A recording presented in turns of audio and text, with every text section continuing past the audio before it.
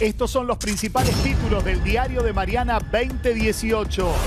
Tarjetas de crédito al rojo vivo. Los usuarios del plástico acumulan más de 500 millones de pesos en deudas. En enero y febrero hay que pagar los consumos de Navidad, Reyes y vacaciones. Muchos caen en el pago mínimo y pagan un costo financiero descomunal. En vivo te contamos cómo podés manejar tu economía para tener las cuentas en orden. Envenenamiento con agrotóxicos. 34 cóndores, dos ovejas, un puma y un cordero murieron envenenados con un potente químico que se usa en cultivos y alimentos en Mendoza. Una vez más se reaviva el debate sobre los productos usados en la agricultura extensiva y sus nocivas consecuencias para nuestra salud. Guerra de argentinos en Punta. El joven agredido por una patota en Punta del Este y que sufrió más de 30 fracturas en su rostro salvó la vida de milagro. Hoy, en vivo y exclusivo, habla el padre del abogado mendocino acusado de ser el agresor que inició la pelea y pateó a la víctima en la cara. Simona, éxito arrasador. Hoy, en vivo y en directo, nos metemos en los estudios y espiamos la grabación. En exclusivo te adelantamos cómo sigue esta apasionante historia y hablamos con todos sus protagonistas. Bienvenidos, esto es El Diario de Mariana. ¡Vamos! Muy buenas tardes a todos, bienvenidos al diario de Mariana, programa fuerte tenemos el día de hoy. Atención con lo que vamos a hablar de los cóndores envenenados, porque no solamente es un riesgo para los animales, sino que es un riesgo terrible para la salud de todos nosotros. El mismo veneno que mató a casi 40 animales, vamos a ver en un rato las imágenes que son terribles, algo están viendo ahí atrás mío, eh, ese mismo veneno puede afectar gravemente la salud de los seres humanos también, así que atención, no se vayan porque en un rato les contamos esta historia que es increíble, criminal e increíble. Pero antes arrancamos con economía, ¿eh? igual que el programa de ayer, el dólar sigue subiendo, fiebre verde, alerta por el dólar, llegó a 19,80 en su pico máximo de la historia y cerca de tocar la barrera psicológica de los 20 pesos. Y esto, por supuesto, genera mucha preocupación, sobre todo para quién. Para el que está de vacaciones, está pagando con tarjeta de crédito y dice, el dólar sigue subiendo y a mí me sigue saliendo más caro lo que compré. La campera que compré la semana pasada, ahora está más cara, la voy a tener que pagar más cara porque me cobran a cotización del cierre de la tarjeta, el dólar, la pesadilla de los argentinos el día de hoy. Para hablar de este tema está Damián Dipache con nosotros, periodista económico. Damián, gracias por venir. ¿Cómo andás? Un gusto, Diego. ¿Cómo va? Bien, acá, bueno, un poco preocupado. Ayer decíamos 19,66 alarma, ahora ya estamos en 19,80, casi 20. Sí, a ver, en principio ahí yo creo que todos los martes subsiguientes van a ser super martes. ¿Por qué? Porque claramente la tasa de referencia marca la colocación de eh, el dinero del argentino en otro tipo de instrumentos. Eh, por ejemplo, los mayoristas se están yendo al plazo fijo que subió la tasa, las aseguradoras no pueden invertir en LEVAC, por, por lo cual o van al plazo fijo o van al dólar. Y creo que a medida que vaya bajando, la, tasa, va a subir el dólar. Y seguramente va a presionar. Pero. Pero, quiero ir, perdóname, Dani, más allá de lo técnico, más allá de las explicaciones, quiero saber qué pasa con las tarjetas. Con esto que estamos diciendo. Gente que en este momento, insisto, la semana pagada por la semana pasada por ir pagó el hotel calculó que le costaba algo y ahora le está costando un 10% más, un 15% más, según cómo vaya subiendo el dólar. Sí, ahí vos tenés un problema importante. Primero porque diciembre, que te va a cerrar en enero, marcó récord de consumo con tarjeta de crédito de los argentinos el exterior en la historia. 560 millones de dólares y cerramos el año en 10.200 millones de dólares. O sea que el problema es importante para eh, por lo menos 7 millones de argentinos que se fueron al exterior. Y ahí tenés dos situaciones. Eh, en principio, eh, yo siempre recomiendo no utilizar tanto la tarjeta de crédito y sí utilizar débito. ¿Por qué? Porque si vos cargas tu caja de ahorro con pesos, el tipo de cambio que te toma es obviamente el del momento en que estás realizando la operación. Eso con débito. Con débito. La mayoría de los argentinos evidentemente, por lo que informa el Banco Central, están utilizando tarjeta de créditos y lo que les generó que los que operaron, por ejemplo, para las fiestas y se fueron de viaje y les cierre este mes, se van a encontrar con un tipo de cambio que estaba 18.50 y ahora está 18.60, 19.60, O sea, un peso más arriba es muchísima, la es muchísima la diferencia. Bueno, acá tenemos un compañero que se fue de vacaciones, volvió hace dos o tres días y le cierra la tarjeta el 20 de febrero. Cada, cada, cada día que pasa, cada día que sube el dólar, se quiere morir. Sí, Sí, sí. la realidad que sí porque eh, ese tipo de cambio no lo estás controlando y digo más, los que están ahora consumiendo y les va a cerrar el 31 de enero, tampoco sabes en qué tipo de cambio se pueden encontrar. ¿No hay ninguna posibilidad, Damián, de poder pagarlo ahora? O sea, cuando uno ve que está subiendo el dólar, de llamar al banco y decir, bueno, ok, lo cancelo la deuda ya, en este momento. Si vos tenés una, tarjeta local que fue emitida por un banco local, tenés que esperar sí o sí al cierre de, una de, de la operación de tarjeta. Es decir, generalmente cierra el 31 de enero, tenés que esperar al 31 de enero a ver qué tipo de cambio te toca. En el caso que tengas una tarjeta internacional que haya sido emitido por un banco internacional, ahí podés quizás adelantar el pago de... Cuando te referís a internacional, ¿es la marca de la tarjeta o de un banco de afuera? De un banco de afuera. Ah, ah que es más difícil. ¿Qué agita, Damián, esto? Porque en algún punto siempre pasa en los veranos que nos vienen estas sorpresas económicas. No pasa en este gobierno ni en este año en particular. Pero supongo que los ahorristas que compran o venden 2.000 dólares no son los que propinan que este dólar aumente de una manera tan, tan veloz en pocos días. Digo, hay una movida detrás, hay ahorristas, es el pago de Levax. ¿Qué, cuál es el motivo claro? No, el problema es que, claro, eh, Levac, que mueve ya más de la base monetaria, ¿eh? Eh, incluso si sumas todo es superior a la base monetaria, mueve 300, son 367 mil personas en todo el país, o sea, desde empresas hasta particulares, es muy poco, pero claro, mueven un volumen de dinero muy grande lo que están haciendo es transfiriendo parte hacia la colocación en dólar y transfiriendo parte hacia la, colocación en plazo fijo. Claramente, lo que le afecta a la gente en la calle son los precios en el mercado interno y justamente los argentinos que se fueron de vacaciones al exterior. O sea, tenés que pensar en las dos variables. Lo que pasa es que ese cómodo a mí es explosivo, porque eh, escuchaba lo que te planteaba recién Luis, ¿no? y vos tenés que pensar que esta tarjeta, que ahora está bueno, sobrecalentándose al ritmo del dólar, que además tiene cargado seguramente un montón de regalos y de compras de comida, etcétera, de las fiestas. Muchas veces también gastos de las vacaciones. Es una época del año de mucho gasto donde se usa la tarjeta a full. El free shop.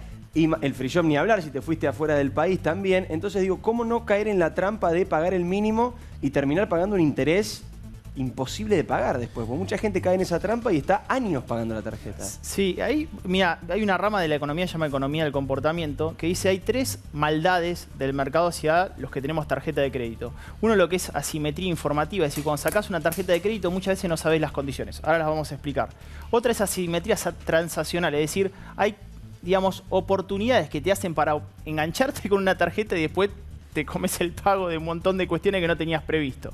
Eh, y la realidad que en, esas variables, yo creo que el pago mínimo es una de las más trasposas.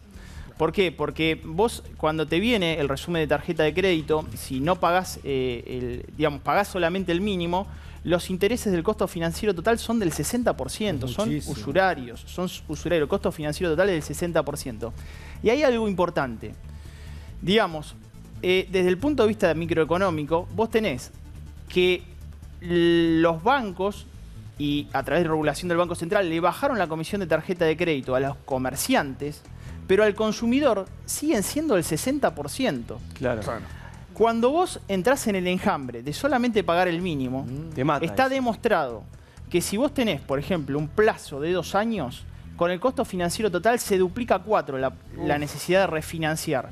Ojo a la gente que esté escuchando ¿Estás esto. prendado de por vida con esa compra que hiciste? Sí, sí. Entonces, pagar el mínimo que se bueno, pago el mínimo porque parezco que tengo una liberación presente, es una carga financiera futura muy grande. ¿Y el Estado no puede regular ese interés que, que los bancos le cobran a los, a los clientes?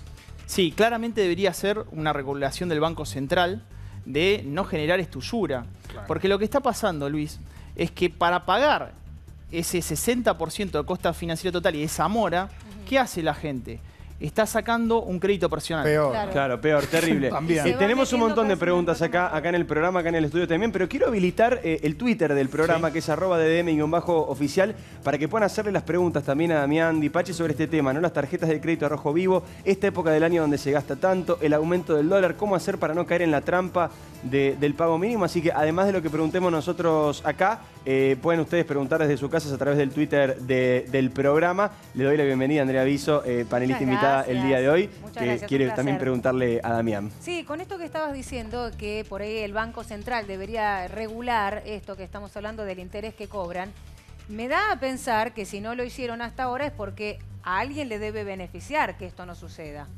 Sí, yo creo que eh, hay dos cosas. Me pareció bueno que dentro de los mayores reclamos de los consumidores este año o el año que se fue, haya sido justamente tarjeta de crédito y débito. Porque pone en escenario que claramente hay un problema.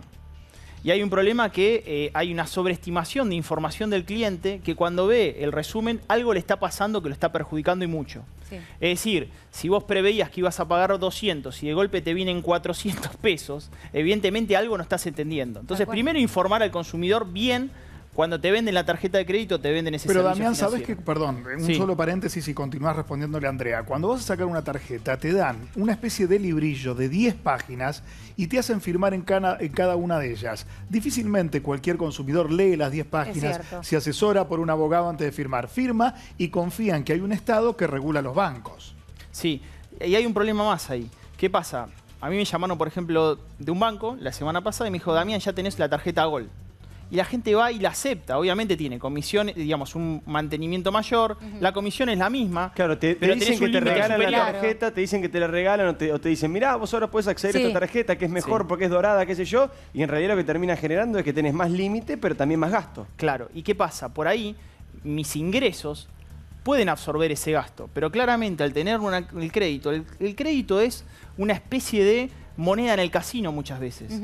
Uno parece que está absorbiendo monedas ¿eh? y que es una ganancia que le está sacando y corriendo la carrera de la inflación.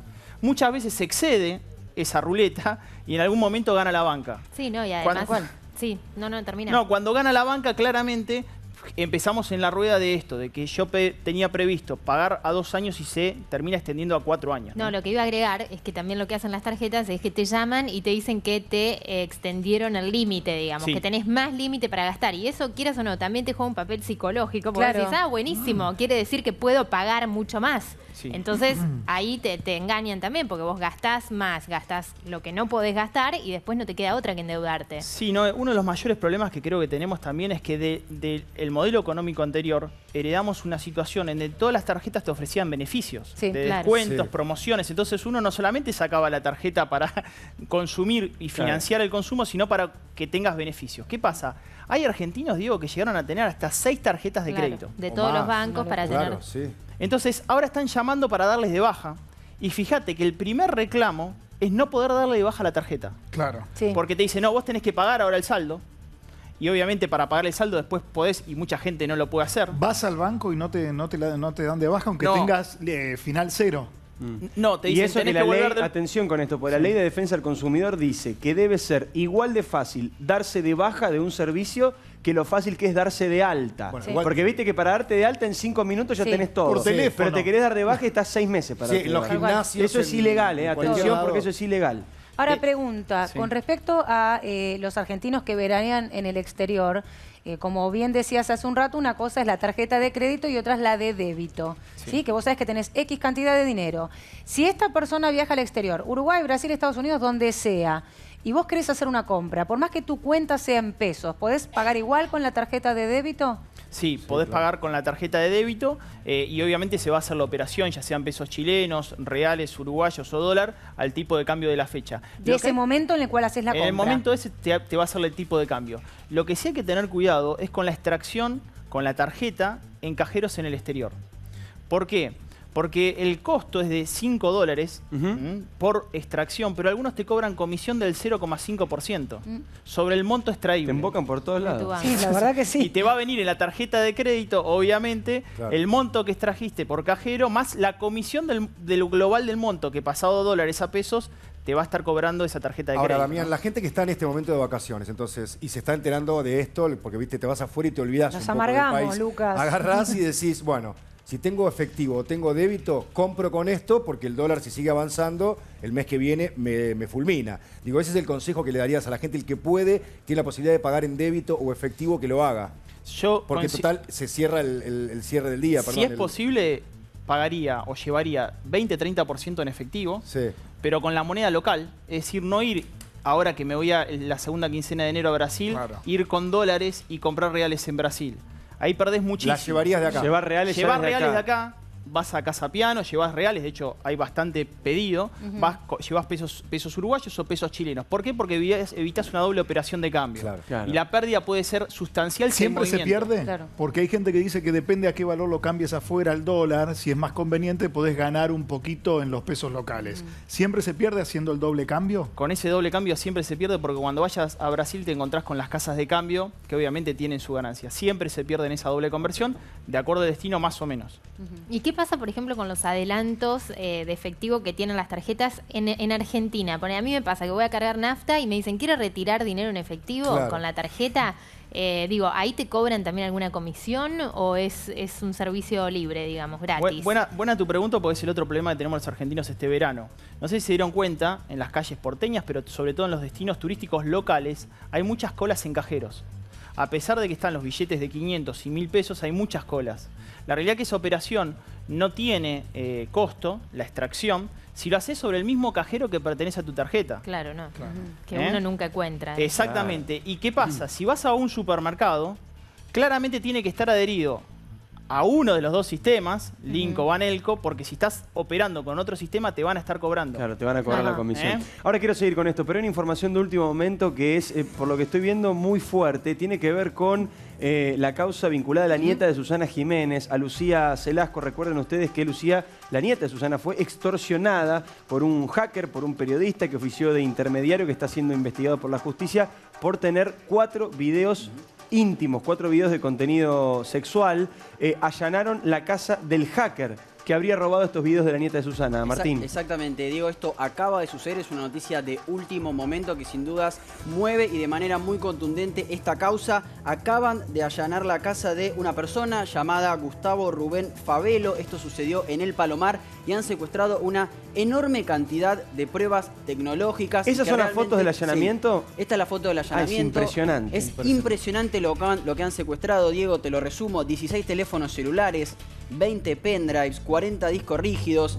Y atención a alguna de las cosas que voy a mencionar ahora, porque vos decías, Diego, la última vez que hablamos de este tema, que fuentes judiciales nos decían, cuidado porque esto es algo mucho más grande, esto es algo mucho más peligroso han secuestrado un DNI de una chica, de una mujer menor de edad, no lo vamos a decir por supuesto, una fotografía eh, de, una, eh, de una chica también, de una menor, han secuestrado ropa femenina erótica, han secuestrado también videos de, este, bueno, de distintas personas, una computadora, dos consolas de juegos, cuatro cámaras digitales, seis memorias de videojuegos. En definitiva, lo que estaba buscando la justicia y lo que está investigando es que, es que si esta banda, además de sustraer videos de famosos y luego extorsionarlos, se dedica también a la pornografía infantil. Insisto, un DNI de una menor de edad, fotos también comprometedoras de menores de edad, ropa de mujer, bueno, eh, es larguísima la se lista pueden ver CDs, Martín, ¿no? También ahí veo que hay como películas, si en las fotos se puede ver, CDs, hay como si exactamente. esas carpetas donde vos guardás los CDs, parecieran películas, no sé si llega a ver ahí, y también acá abajo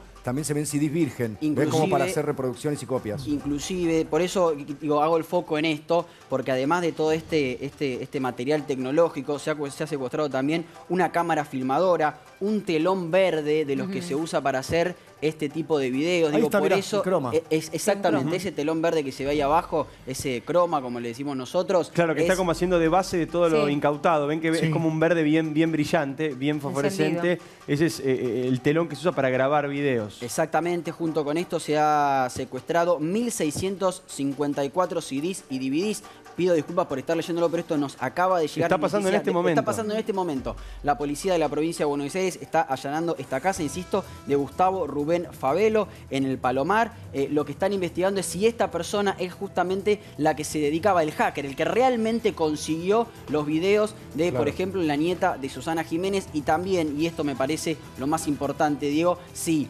tenían pornografía infantil y si además la producían. Por, esto, por eso hacía yo hincapié en la filmadora y también en ese telón verde. Eso es uno de los delitos más graves que sí, es el más grave y el que realmente, digamos, puede desentrañar, como decía Fernando Burlando, algo mucho más grave de lo que en realidad eh, supone ya la gravedad de las imágenes de la nieta de Susana. Hubo un detenido, como dije en este programa, aunque la familia y el propio Burlando lo negaban, un detenido por más de 20 horas que habría sido quien brindó información para llegar a esta persona. Ahora, más allá de todo este material, ¿él es el punto raíz de esta banda? No, lo que aseguran los investigadores es que hay otro organizador que recibía el material producido por este eslabón, porque estas cadenas se manejan por células. Y donde cuesta mucho llegar a quien es el autor intelectual justamente de esta red. Ahora, varias cosas entonces para, para destacar de lo que están planteando acá Martín y Luis. Primero, ya no se trata del periodista, de los mensajes de texto, ya no se trata de este hacker o falso hacker con el que hablábamos hace algunos días, este chico Camus Hacker que siempre está involucrado en este tipo de, de escandaletes mediáticos, sino que se estaría tratando, por lo que se ve el allanamiento y por la formación que daban ustedes, de una banda peligrosa dedicada a un delito vinculado al menos primero al hackeo de gente famosa y segundo a la pedofilia, que es la pornografía infantil, uno de los delitos más graves y más aberrantes que tiene el Código Penal. el, primer día que hablamos, perdón, el primer día que hablamos de este tema en este programa, yo dije algo parecido, o sea, que estaban tras la... que no era simplemente un hacker con un videíto dando vueltas por ahí, que había algo mucho más profundo y mucho más grave. Por lo que puedo ver en la foto, eso pareciera ser un garage, ¿no? De una casa. Sí, parece ser como el ingreso con un portón a, una casa, a un, domicilio, ¿no?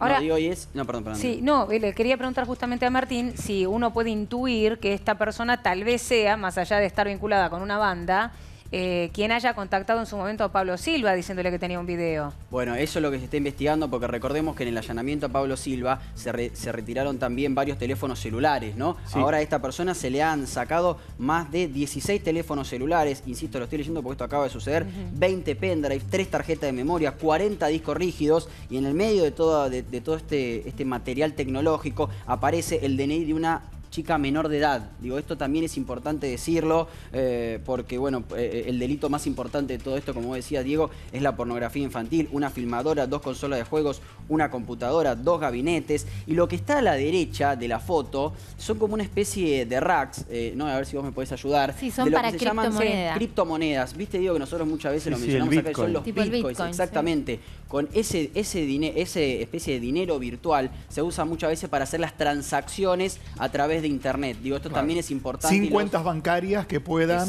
desnudar la identidad de quienes hacen la operación. Exactamente. A ver, según lo que No cualquiera puede producir bitcoins, ¿eh? atención. requiere, como decían, de servidores especiales y de mucha energía y de mucho tiempo dispuesto a la realización de estas, de estas monedas virtuales que sirven muchas veces, hay fines nobles, por supuesto, pero muchas veces sirven para cometer delitos, justamente. Pornografía infantil, tráfico de armas, tráfico de drogas, porque es más difícil, dicen algunos, todavía está por verse eso, más difícil de rastrear. Eh, según lo que había contado Camus Hacker en su momento, la cadena había sido así, a él lo había contactado un hacker conocido, no sé, un hacker o un personaje conocido de internet bajo un nickname, o sea, lo que sería un sobrenombre, eh, le había ofrecido este video y Camus Hacker se había ofrecido él a contactarlo con Pablo Silva, así lo contó él, ¿no es cierto? O sea, como que según él, Camus había sido el intermediario entre supuestamente esta persona eh, que era conocida en internet y que tenía el material. Ahora, pero que Camus Hacker en realidad, Camus Hacker que en realidad se llama Emanuel Ioselli, que está condenado justamente por extorsión con eh, material íntimo de gente de la farándula, nos dijo en este programa que él había dado la información a la justicia. O sea que tal vez la justicia llegó a este lugar producto de la información que dio Camus Hacker o el propio Pablo Silva. Ahora, cuando vayamos teniendo más información, lo estaremos contando. yo quería aportar que, a ver, acá eh, el tema de la pedofilia, digamos, es como un tipo de delito y hay un mercado, es un espanto todo.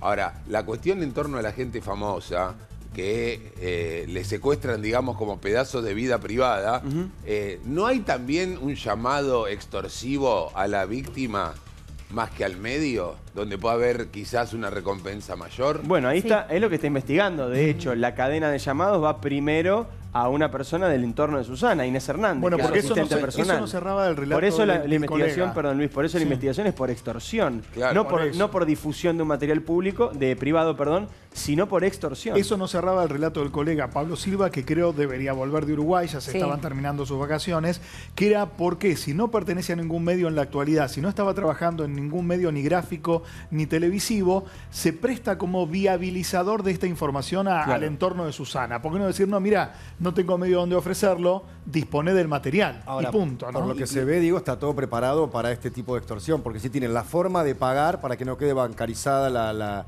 entrega del dinero, tienen todo ese material, todas cosas que nosotros en nuestra casa no tenemos. ¿Quién tiene 18 celulares y todo eso? bueno, esto es importante. Eso que ven a, la derecha de la imagen, que, son como cajas con marco blanco, es lo que estaba contando recién Noé, lo que estaban contando con Martín, son eh, computadoras especiales, para decirlo bien llano, bien, bien a lo bruto, computadoras especiales para fabricar plata virtual computadoras especiales para fabricar plata virtual y de esa manera poder hacer diferentes transacciones que sean, algunos dicen, más difícilmente rastreables. Es decir, es una banda sofisticada. Ahí vemos elementos de producción y reproducción de material. y hay que destacar también, Diego, el accionar de la justicia. Como muchas veces nosotros criticamos cuando la justicia es lenta, cuando no se mueve. Bueno, estamos viendo que en este, en este caso sí se está moviendo y han llegado a esta persona también por las pericias que le están haciendo al teléfono justamente de Pablo Silva. Yo pude acceder, lo pude leer, no, no lo tengo conmigo porque no me pudieron dar una copia, pero pude leer lo que fue el chat entre Pablo Silva y la productora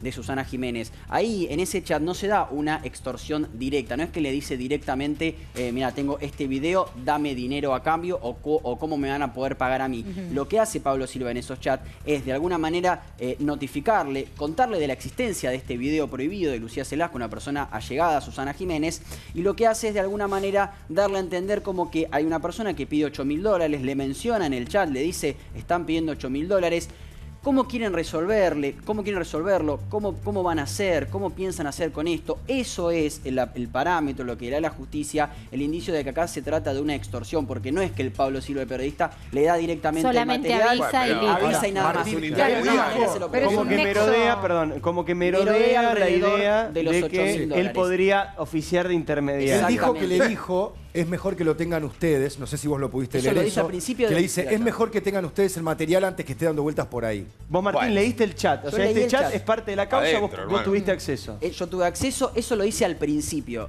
Hola, ¿cómo estás? Soy Pablo Silva, mira, quería contactarte, se presenta, tengo este material, es mejor que lo tengan ustedes, pero no es que le dice, es mejor que lo tengan ustedes, yo no quiero saber nada. Pero hay un eh, pedido de dinero, como dijo Mauricio le, de Le menciona el dinero, le menciona el dinero, le dice, hay 8 mil dólares que están pidiendo, ¿cómo van a hacer ustedes? ¿Cómo piensan resolverlo?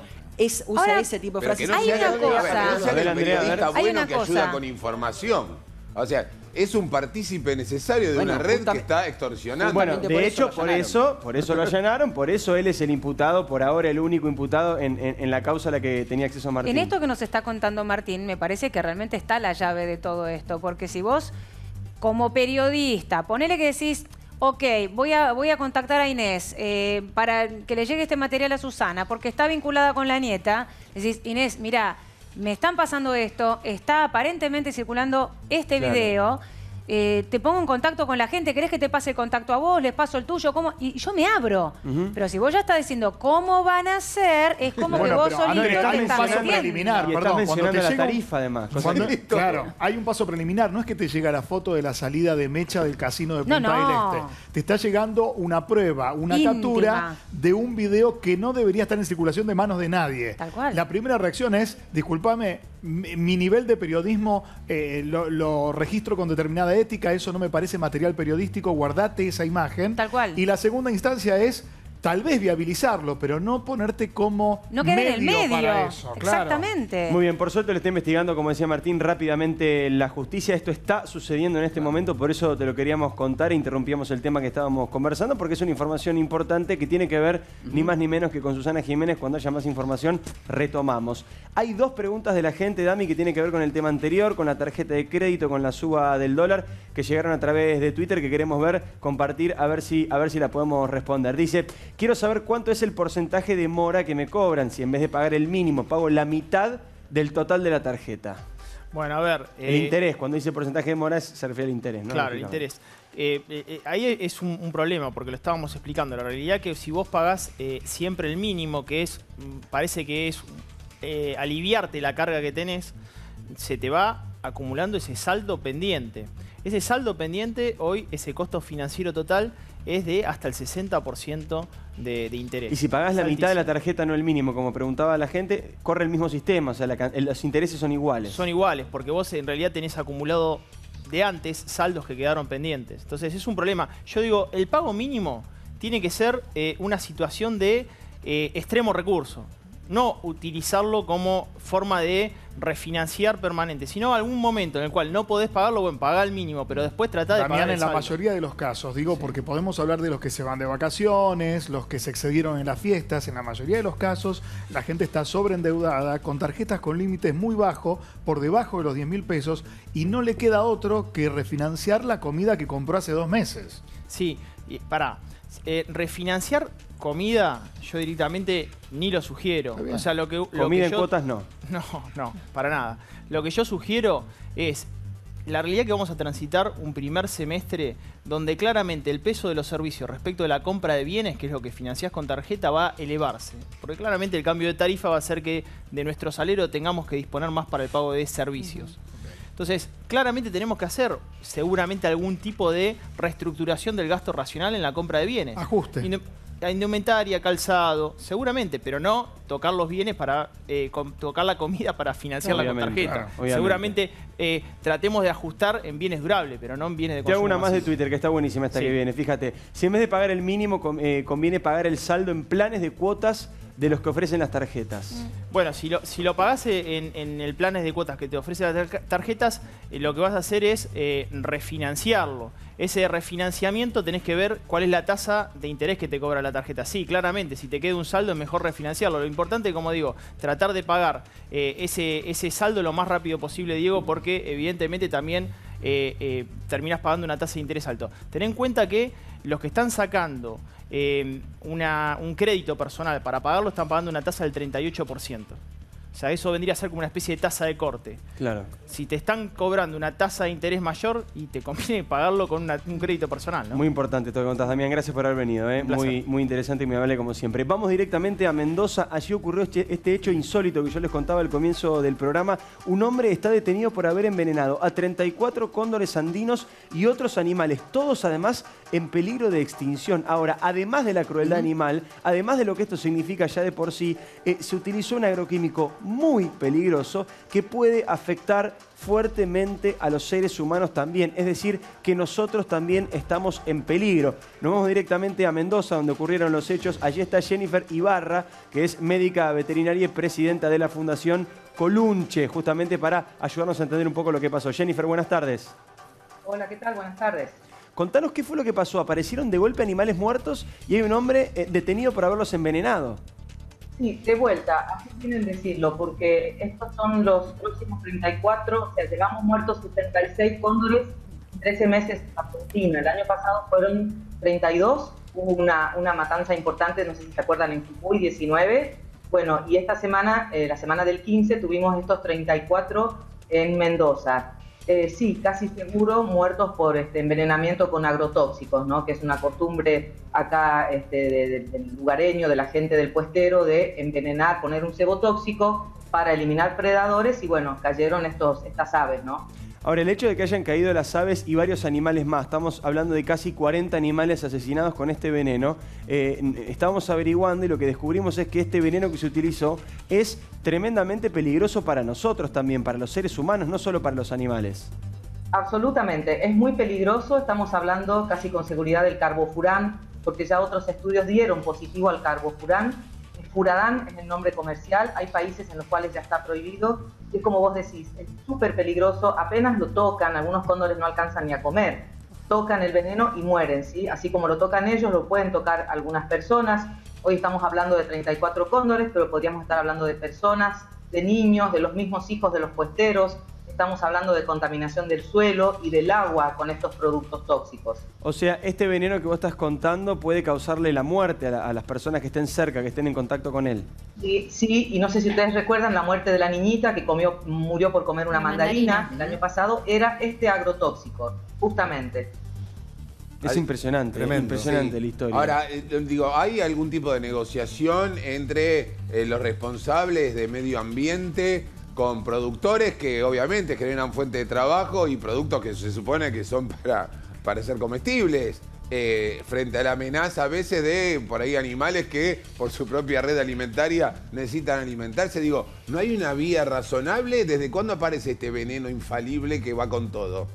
Eh, esto se ha hecho siempre. En los años 60 la vedette de la intoxicación hacia la fauna silvestre era la estricnina se vendían elementos y herramientas para poner cartuchos de estricnina que los predadores comían y morían. Hoy se usan los agrotóxicos que están más a mano, la estricnina ahora es más difícil de conseguir.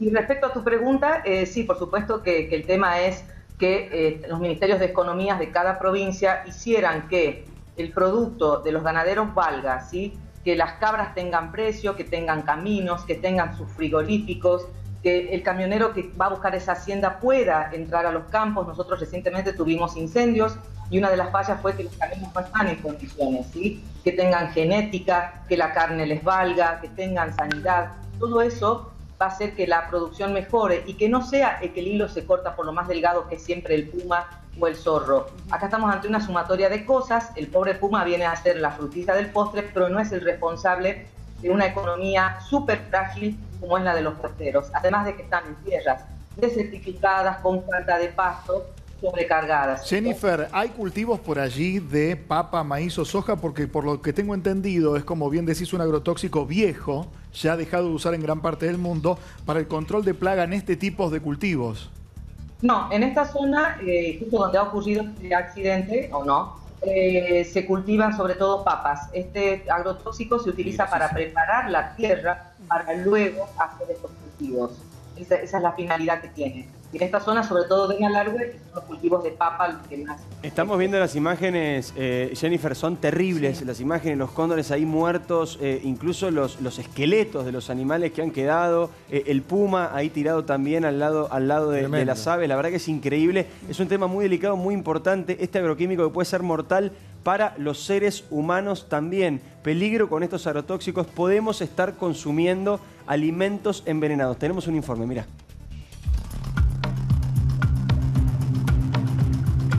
Según datos oficiales difundidos por el SENASA, el ente que se encarga de regular la calidad de los alimentos, más del 60% de las frutas y verduras que consumimos todos los días están contaminadas.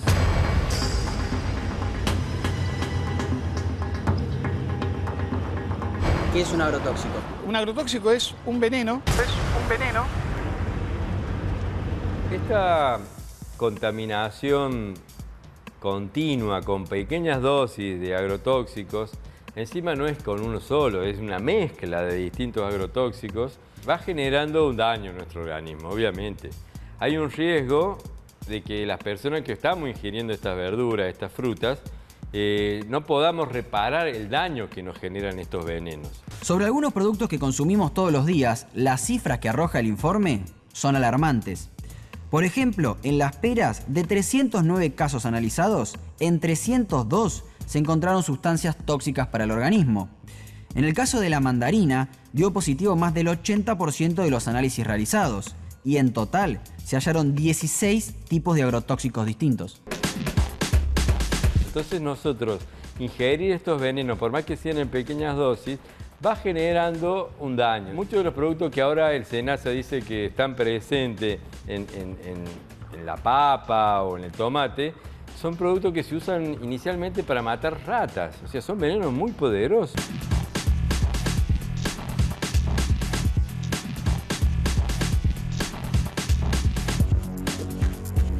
Ahí está el peligro de estos agrotóxicos que pueden ser muy peligrosos para la salud humana, no solamente para los animales. Mirta Borras es doctora médica toxicóloga, está aquí con nosotros. Mirta, gracias por venir. ¿Cómo estás? Bien, muy bien, gracias. Un poco inquietos con esto que estamos, que estamos viendo. La verdad que nos preocupa muchísimo la salud. Ahora quiero conversar con vos, pero quiero darle la bienvenida también en otro de nuestros móviles a Patricio Eleisegui. Él es periodista, autor del libro Envenenados. Así que más que nunca, darte la bienvenida, Patricio. ¿Cómo estás? Buenas tardes.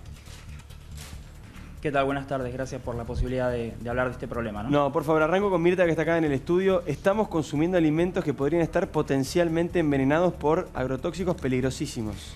Podríamos decir más que envenenados, contaminados. contaminados. Sí, me gustaría más esa temática, ese tema, porque de lo contrario estaríamos creando un, miedo en la población que a veces, tomando ciertas medidas, podríamos llegar a disminuir. Correcto. ¿sí? Y que lo más importante es lo que había dicho el doctor Ávila. No es la cantidad que tenga cada alimento, sino el mal uso de los alimentos, la mala higiene es la que hace que pequeñas dosis vayan acumulándose.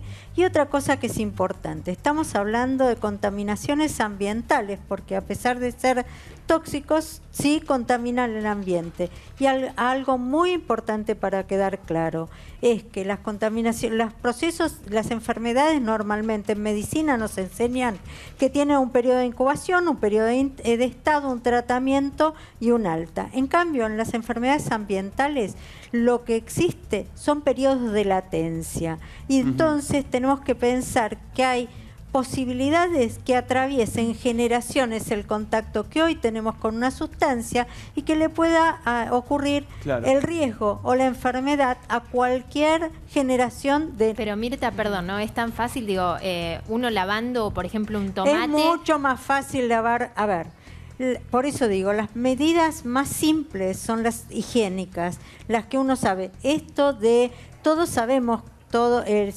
interesantísimo el libro que hizo el doctor, que me parece sumamente interesante, sobre todo para que todos estemos en conocimiento de todos estos datos. Pero lo más importante, ¿se acuerdan ustedes en la época del cólera cuando nos decían que teníamos que larvar las verduras de hoja con, las gotitas de lavandina o cinco gotitas de vinagre? ¿Quién dejó de tener en su casa? A partir de ahí, será que yo soy mayor y entonces recuerdo esa fecha, un gotero con lavandino, con vinagre, en, en, el lugar donde uno va a lavar la verdura normalmente. Esto es algo que no debería perderse. Recordemos cómo es esa fórmula, Mirta, porque es importantísima. Son una o dos gotas de lavandina por cada litro de agua. Por cada litro de agua, dejarlas en remojo cinco minutos, escurrirla y entonces uno las podría comer tranquilamente. Pero perdón, esto pasa también con las frutas, digo, las manzanas, las zanahorias, los tomates. con todo. uno tendría que tener una buena higiene de todo este tipo de cosas, sobre todo no antes de guardarlas, sino antes de consumirlas, ¿sí? Porque antes de, guardarlas. Y antes de guardarlas seguramente puedes eh, romper alguna parte y entonces se te puede llegar a poner en mal estado teniéndola en reposo en una Eso frutera o elimina el agrotóxico, porque uno imagina, por, por ejemplo, el caso que acaban de denunciar del carbofurán, que se mete en la raíz y dentro del cultivo. El carbofurán es un, eh, un carbamato, es un pesticida que se usa, que tiene eh, si lo tenemos que eh, decir eh, médicamente, un aspecto sistémico. ¿qué, ¿Cuál es su función? Actúa en toda la planta, desde la tierra, entra por las raíces y actúa en todo, salvo en los frutos. ¿sí? Únicamente. Y por, sobre los animales que habían quedado los esqueletos, muchas veces se usan esos esqueletos embebidos ¿sí? en carbofurán para que los, las aves de reapiña y demás vayan y se coman realmente eso y ahí, ese, ahí se propaga exacto el Ahora, decíamos en el móvil está Patricio Licey que es autor de un libro que se llama Envenenados, así que obviamente queremos escuchar también tu opinión Patricio de esto que estamos viendo. Insisto yo veo las imágenes y me da mucha impresión. Vos que trabajaste el tema ¿cómo lo ves? Sí, bueno, realmente es una consecuencia, por supuesto que trágica, ¿no es cierto?, de, un uso eh, primero irresponsable y obviamente descontrolado de sustancias sumamente peligrosas. Eh, estamos hablando de, obviamente, de, un producto que causó, por ejemplo, la muerte de una nena en Corrientes el año pasado, porque se utiliza justamente para, bueno, envenenar, para, para generar cebos, ¿no es cierto?, que comen después las especies que los productores consideran como plagas. Y bueno, lamentablemente tenemos un nivel de descontrol y de venta de estos productos que, eh, básicamente se hace de manera irrestricta. O sea, hoy uno puede ubicar, en muchos casos, ofertas de Furadán, ¿no?, que es el nombre comercial del carbofurano, en redes sociales, de hecho, hasta hace algunas semanas era posible ubicarlos en, portales como Mercado Libre, ¿no es cierto? Por ejemplo. Creo que esto lo que expone en definitiva es lo agrotóxico del modelo, en definitiva, ¿no es cierto?, que solamente requiere de estas sustancias para poder funcionar. Y bueno, tenemos estos casos eh, que son fuertes, son muy potentes, obviamente, y llaman la atención, pero bueno, es una práctica que también llega a nuestros pueblos, está en lo que comemos precisamente y en la producción de lo que exportamos fuera de la Andrea. Eh, te hago una consulta, porque todos sabemos que una cosa es tener una quintita en tu casa, tener unas plantas de lechuga, unas rúculas, unos tomates, unos morrones, y lo que significa de verdad el cuidar esas plantas, porque es cierto que hay plagas, que hay pestes, que tenés que luchar contra ellas, y que muchas veces estos venenos, estos agrotóxicos, obviamente son, digamos, eh, agresivos para lo que es el consumo. Pero una cosa es tener una quintita y otra cosa es tener una plantación como las que vemos. ¿Quién legisla cuáles son los agrotóxicos que se pueden usar, si es que se pueden usar, en qué medida se pueden usar, porque debe haber una legislación al respecto. O, estamos, bueno, perdón, digamos, al descubierto de eso. No, eh, Argentina no tiene una ley nacional. No tiene una ley nacional que regule. O sea que estamos al descubierto. Eso, es real. Exactamente. A ver, eh, hay que pensar que la gran explosión del uso de agrotóxicos en Argentina tiene que ver con la entrada de la soja transgénica en, el año 96. De ahí hacia acá, nosotros aumentamos un 1000% el uso de estos pesticidas durante el año, en términos de un año, 300 millones de litros aproximadamente, ¿no es cierto? Y esto se hizo en base a un vacío legal, justamente, que es el uso irrestricto, descontrolado, por supuesto, mientras que se intensifica la aplicación de pesticidas. Esto lamentablemente llega a un nivel que lo encontramos en las como los informes que dio el año pasado a conocer Naturaleza Derecho, la organización, que son informes del mismo SENASA, en donde incluso este furadán aparece en el apio, aparece en la frutilla, y me permito corregir a la doctora, no hay manera de eliminarlos por más que se lave la fruta, por más que se pele, o sea, hoy por hoy son moléculas que están creadas para estar directamente dentro de los productos y no ser eliminados Pero, Patricio, fácilmente. Es lo que se llama residualidad. ¿El Ministerio de Salud no debería ocuparse de esto y tomar cartas en el asunto? El Ministerio de Salud y los médicos deberían ocuparse, por supuesto, pero generalmente eh, no se hacen responsables y tienden inclusive a evadir eh, la problemática, ¿no es cierto? Hablar sobre este tema o cuando tienen el caso de un afectado, también ocurre muchas veces que no quieren firmar los certificados médicos. Entonces tenemos un problema legal, ¿no es cierto? Un problema de la justicia que no opera, de abogados que no toman los casos y también de los médicos que hacen la vista gorda, hacen a un costado esta cuestión y la minimizan. Dicen que esto es un tema que es el mal uso. No es el mal uso, estamos usando productos que están prohibidos en muchísimos países. Y nosotros no solamente hacemos uso de eso también. Cuando uno observa estadísticas del SENASA sobre las frutas y las verduras contaminadas, se encuentra que en la mayoría de los casos son productos que no están habilitados para la agricultura.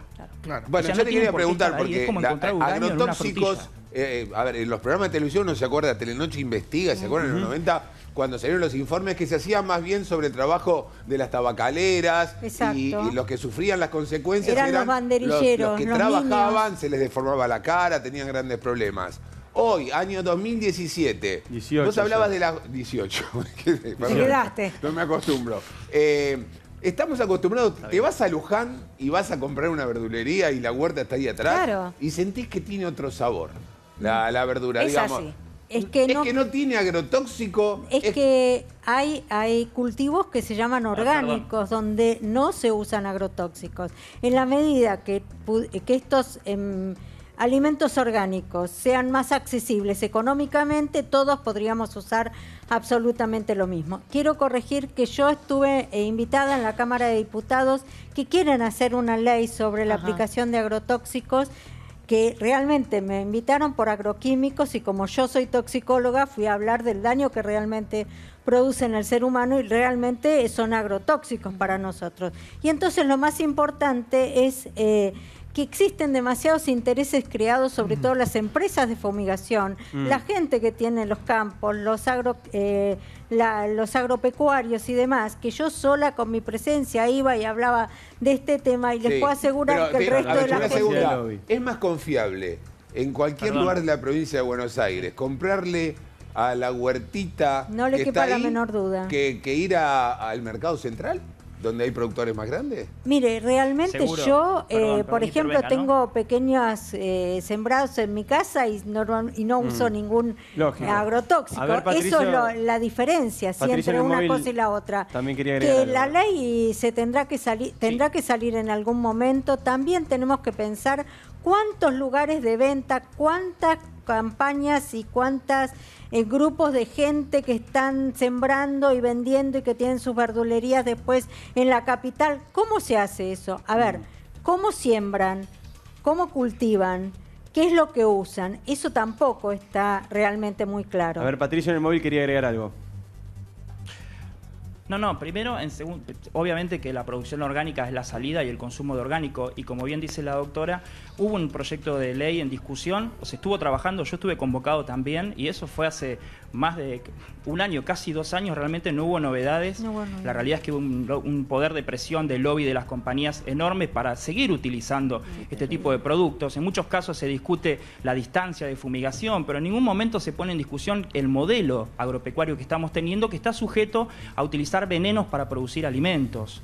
Hoy por hoy es cierto, tenemos los cultivos orgánicos que son minoritarios en muchos casos porque hay una decisión, una presión del otro sector que no permite que esto crezca, también desde el Estado, porque esto es un modelo que nace desde la política misma, ¿no es cierto? Pero también tenemos esta, la ausencia de controles. O sea, hoy por hoy, ir a hacer un control en el cordón del conurbano donde se están generando frutas y hortalizas es prácticamente imposible. O sea, uno como periodista no puede ingresar en muchos casos a esas huertas, ¿no es cierto?, para ver cómo se está trabajando y ahí es donde está la acumulación mayor de agrotóxicos a la par de la soja o del maíz. Sumándome a lo que vos decís y lo que decía la doctora, los intereses, creo yo, si no, por favor, refutame, no tienen que ver solamente con las empresas. Año 1999 Parece la prehistoria, pero fue ayer nomás. Madres de Ituzangó, mujeres muy humildes de la provincia de Córdoba denunciando casos de cáncer absolutamente, eh, eh, digamos, sobredimensionados para la población. Las ignoraron hasta que su caso llegó fuera de las fronteras. Año 2015 Ayer nomás, un conjunto de profesores en la Universidad Nacional de Córdoba hicieron un estudio sobre Monte Maíz, donde se planta soja. También encontraron tumores 100% más grandes que los relativos a la misma enfermedad. ¿Qué pasó cuando llegaron al Consejo Directivo? Desautorizaron la investigación en una universidad nacional porque quien auspiciaba este proyecto era Monsanto. Hablas con Monsanto y dicen, disculpame, anda a hablar con Pioneer que también produce agrotóxicos. Y uno dice, ¿podemos comer sin agrotóxicos? Es un, modelo ya olvidado. No, es tal cual, Luis. Aparte hay que pensar lo siguiente. En el caso de las madres de Tuzango, quien primero sale a refutar la posición, ¿no es cierto? Y también lo que se estaban exponiendo las mismas madres, que estaban enfermas en muchos casos fallecieron, algunas siguen estando con problemas de salud, viviendo en el mismo Ituzangó, en la periferia de Córdoba. Quien refuta esta posición es el Estado, es el municipio, la ciudad de Córdoba, después se pliega a la provincia, inclusive el mismo gobierno nacional en un punto hizo la vista a un costado, ¿no es cierto? Entonces, realmente hay una decisión política de seguir fomentando este tipo de agricultura con estas consecuencias. Hoy nos sorprendemos, ¿no es cierto?, por esta cuestión de los 34 cóndores, que por supuesto que es una tragedia, una tragedia ambiental, pero esto está pasando todos los días en nuestros pueblos con indicadores de cáncer, como vos recién contabas, en el caso de Montemaíz, en San Salvador, en la provincia de Entre Ríos, capital nacional del arroz, de ahí viene el arroz que nosotros consumimos, tienen un 40% de muertes por cáncer. Hay dos estudios de dos universidades nacionales, La Plata y Rosario, que comprobaron que el problema es la utilización de pesticidas y los residuos sobre esa ciudad. Y así tenemos infinidad de casos. Y Patricio, ¿cuáles es lo que nunca se pone en discusión. ¿Cuáles el son, modelo, ¿no? ¿Cuáles son los casos, digo, no sé, cuáles son los alimentos que suelen estar más contaminados o con los que hay que tener más cuidado? Digo, desde de nuestro lugar, ¿no es cierto?, como consumidores para por lo menos hacer algo al respecto. Bueno, lamentablemente tenemos que, o sea, debemos decir que hay que consumir más frutas y verduras, pero fíjense, el año pasado yo estuve con ustedes en el programa hablando de las estadísticas de Senasa, lo que decían al principio, más de la mitad de las frutas y verduras están llegando con contaminación con pesticidas. Y no digo que eh, no es que esto no sea lo usual, el tema es que son productos que no están habilitados para la agricultura. Y el mismo Estado, a través del SENASA, dice, uy, qué sorpresa que tenemos. Miren lo que encontramos. Lo que no dicen es de dónde llega, un poco lo que decía la doctora, de dónde llega, cómo se produce, de qué manera eso llega al mercado central, por qué eso está ahí disponible para la comercialización, la llegada a las verdulerías y qué es lo que en definitiva, estamos comprando nosotros. ¿no? Nunca sabemos si la mandarina envenenada, como pasó en el caso de Corrientes, es la que vamos a elegir mañana nosotros en la verdulería de la vuelta de casa. Bueno, hay algo que es importante y muchas veces la gente dice que pasa, por ejemplo, con los productos orgánicos que son tan caros. Más allá del vacío legal del que estamos hablando en este momento, eh, hay una realidad. Si vos vas a hacer una quinta orgánica, no es lo mismo. Si vos ves que los tomates tienen arañuela roja, ponerte a limpiar hoja por hoja de cada planta de tomate con agua con jabón que ponerle un pesticida, que obviamente es una solución muchísimo más rápida y prácticamente instantánea.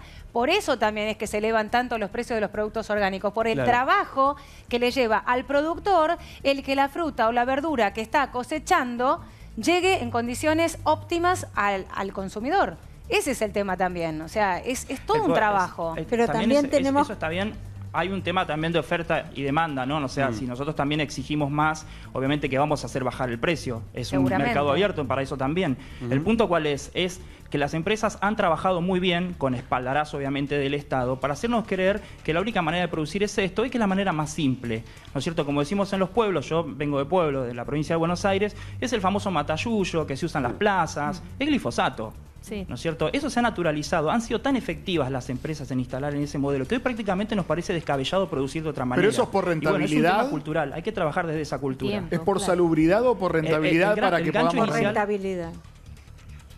rentabilidad. Perdón, Luis, sí, es un tema económico, estrictamente mm, económico y es un problema político. Ahora, eh, el tema es que cuando esto se inició, nosotros tenemos más de medio siglo de utilización de pesticidas, pero se intensificó, dije yo, a partir del 96, y le hicieron creer a los productores que esta era la manera más simple y más económica también de generarlo. Y hoy por hoy, ni siquiera de esa forma, porque como yo decía, tenemos mil por ciento de aumento en el uso de agroquímicos en algo más de una década. Entonces, cada vez vamos a intensificarnos más como un país agrotóxico, lamentablemente. Hay algo que me llamó mucho la atención cuando estuve leyendo, investigando sobre este tema, que hay algunas sustancias, te pregunto a vos, Mirta, que hay, que son sustancias que están prohibidas y otras que están no autorizadas. ¿Qué diferencia hay entre prohibidas y no autorizadas? Porque me, Prohibida tendría que haber desaparecido de la venta y no autorizadas quiere decir que todavía no se llegaron a prohibir, que no deberían estar a la venta, pero que normalmente podés llegar a, encontrarlas en cualquier lugar. Por ejemplo, sobre todo cuando la gente, sobre todo cuando la gente va a comprar, la gente que fumiga con su mochilita y demás, su sembradío y de, y les venden las mezclas que quieren con productos que quieren que el, el que le venden. Para es una locura, Mirta, perdón, es una locura que funcione así. ¿Cómo es? Sí, pero que desgraciadamente, no debería, pero desgraciadamente es increíble, pero pasa. Y el no reconocimiento, como él decía, de los profesionales de la salud. Y tiene razón, yo he visto profesion eh, yo he visto eh, maestras que trabajan en Gualeguaychú con pueblos fumigados, con colegios fumigados, donde tenían enfermedades importantes declaradas por la fumigación realmente que las he tratado yo y que nunca fueron reconocidas ni siquiera como enfermedad laboral a nivel de Ministerio de Educación. ¿El mundo moderno en qué anda? Se le pregunto a los dos. Bueno, en Europa está prohibido el producto que hoy estamos hablando. En Canadá está prohibido. ¿Por qué? Porque hubo eh, matanzas de animales importantísimos, eh, eh. muertes de animales importantísimos. En Estados Unidos, en el año 2008, se hizo una petición, la EPA hizo una petición para prohibir este producto y en el 2011 recién se trató y los intereses creados dijeron que no era mm. tema para tratar en salud. Patricio, que estás en el móvil. Sí, no digo, para, partamos de lo básico. Francia, en vos en Francia no puedes tener un cantero con soja transgénica. Exacto. Claro. Ese es el punto de partida. para, acá el modelo. para entender lo que está pidiendo el mundo. Eh, acá nosotros somos los proveedores, básicamente. ¿Qué ha hecho el mundo en muchos de los casos? ¿Qué ha hecho Asia? ¿Qué hace China? ¿Qué hace un poco Europa? Traslada el costo ambiental a los países periféricos, como ha sido la historia general de nuestros países. Bueno, Patricio, pero perdón, perdón que quiera corregirte. Es un, perdón, una sola entrelínea, porque si no también tendemos a confundirnos, a confundirnos. El mundo pide eso para sus propios países, pero comen luego lo que nosotros producimos, como decís vos, Asia y Latinoamérica, envenenando su tierra y sus pueblos. Exacto. O sea que tienen también un doble discurso bastante nocivo. Te compran los mejores es que ahí está el perdón, Luis. Eso, era un poco lo, que quería comentar, ¿no es cierto? Eh, Francia tiene esta postura con los transgénicos, discute el uso de glifosato, pero no está, no tiene problemas en comprarle granos a la Argentina, que están tratados con transgénicos, perdón, que son transgénicos y están tratados con, pesticidas. Claro, que, los productos, eh, la doble moral. que los productos peligrosos los usen los otros países mientras ellos están protegidos con la legislación. Gracias eh, por haber estado ahí, Patricio. Te mandamos un abrazo enorme. Gracias. Patricio Elisegui, periodista, autor del libro Envenenados. Mirta, también gracias por venir. ¿eh? Por favor. Médica toxicóloga y Jennifer Ibarra, que estaba en nuestro móvil también. Retomamos el tema que estábamos hablando antes. Tiene que ver con Susana Jiménez, con su nieta extorsionada por videos prohibidos. En línea está Fernando Burlando, abogado justamente de Susana Jiménez. Te mostramos recién allanamiento de último momento donde se encontró de todo y efectivamente parece que es una banda grande y peligrosa, que no se trataría simplemente de un caso menor. Doctor Burlando, buenas tardes, ¿cómo le va? Diego, buenas tardes, ¿cómo están? Bien, aquí estamos contando esta información, recién veíamos las imágenes, Martín Candalafa aquí hacía una especie de listado de lo que se había encontrado en el allanamiento y lo que parece es que se trata de una banda peligrosa, por lo menos de algo más grave de lo que parecía en un principio. Bueno, en, realidad este, nuestra sospecha desde el principio eh, debo, acá darle una, realmente, eh, cómo previó la, fiscalía que se trataba de algo mucho mayor de lo que nosotros imaginábamos, eh, es esta, la doctora Corte, ¿no? que junto con la policía de la provincia hicieron realmente un trabajo, un trabajo ejemplar, un trabajo este, diferente, un trabajo donde la, preocupación de una familia se ve de alguna manera contenida por la respuesta de, la justicia y, de las autoridades de la provincia. Fernando, te quiero hacer una pregunta eh, directa, porque acá Martín, cuando trajo la información, planteaba algo inquietante, peligroso, grave y bochornoso, que es que habrían encontrado material que podría vincular a esta banda, la banda que supuestamente hackeó la computadora del novio de la nieta de Susana, con una banda de pornografía infantil o que pueda tener que ver con la pornografía infantil. Eh, ¿La investigación va por ese lado? Esa es, la esa es este, digamos, la, pesquisa que se seguía y que, reitero, los investigadores nosotros como creyentes teníamos desde el principio. Digo, sí, no, no descartes absolutamente nada. Es algo que realmente tremendo, es algo mucho más grande de lo que inicialmente se le comunicó a, la sociedad o a la gente. Eh, nosotros teníamos entendido de que podía haber una, red de trata y, de prostitución infantil este, de esta gente que entendemos, o por lo menos los, investigadores entienden que la cabeza es este hombre, ¿no? Sin perjuicio de que hay tres o cuatro personas más que vamos a seguir para poder este, primero imputarlos y después este, ver si perseguimos la, detención de esta gente, pues gente peligrosa que no puede estar realmente en la calle, ¿no? En función de los delitos que se están investigando. Y es una banda, por lo que vemos, grande, ¿no, Fernando? Porque recién mostramos las imágenes, recién las veíamos también del allanamiento y, por lo que vimos se encontraron eh, servidores, computadoras especiales para fabricar monedas virtuales. No cualquiera puede hacer eso. Estamos hablando de una banda grande, con infraestructura y si se dedican a la pornografía infantil, además, uno de los delitos más graves y aberrantes que tiene el Código Penal argentino. discos, discos rígidos, este, pendrive, teléfonos, este, netbook, o sea, realmente tenían toda una estructura eh, con la cual se les tomaba tal vez este, fácil y sencillo eh, hacer esta, estas este, asquerosidades que hacían, ¿no? Porque, como dijo Susana, esto es una inmundicia y me parece que se quedó corta con el adjetivo calificativo. Eh, de todas maneras, quiero aclararte que hay dos o tres personas más y yo personalmente estoy este, interesado en, llevarle de alguna manera este, a la familia eh, resultados de una, buena investigación, se van a hacer las pericias y que después este, a todos los involucrados necesariamente en la justicia los va a tener que, detener, así lo vamos a pedir, eh, te reitero, porque el delito que aquí se investiga, más allá de que detrás de esto hay una, gran banda, este, extorsionar es algo este, que le quita paz, este, tranquilidad a una familia que que, no buscó para nada este, ser este protagonista ni parte de, toda esta inmundicia. Fernando, estoy hablando con una persona que tiene mucho conocimiento en este tipo de delitos y me habla, eh, lo voy a decir textual, de lo que puede llegar a ser la causa del siglo con respecto a esto. Digo, es tan grande esta banda y son tan grandes las derivaciones y las ramificaciones que puede tener esta causa. Y también preguntarte, porque me llega la información de que serían siete las personas que están eh, integrando esta banda y serían siete hackers que se dedican a robar este tipo de material a extorsionar a las personas y también a producir muchas veces esta pornografía infantil. Sí, te puedo decir que esto es una mega causa. Eh, no, quería realmente preocupar a la familia, ni a Susana, ni, a todos los integrantes de la familia, pero sí es algo mucho más serio de lo que, de lo que uno imagina. Eh, tenían evidentemente tecnología para hacer este, cualquier cosa, eh, invadir este, a, cualquier ciudadano, eh, a, cualquier persona y realmente hacérsela pasar este mal.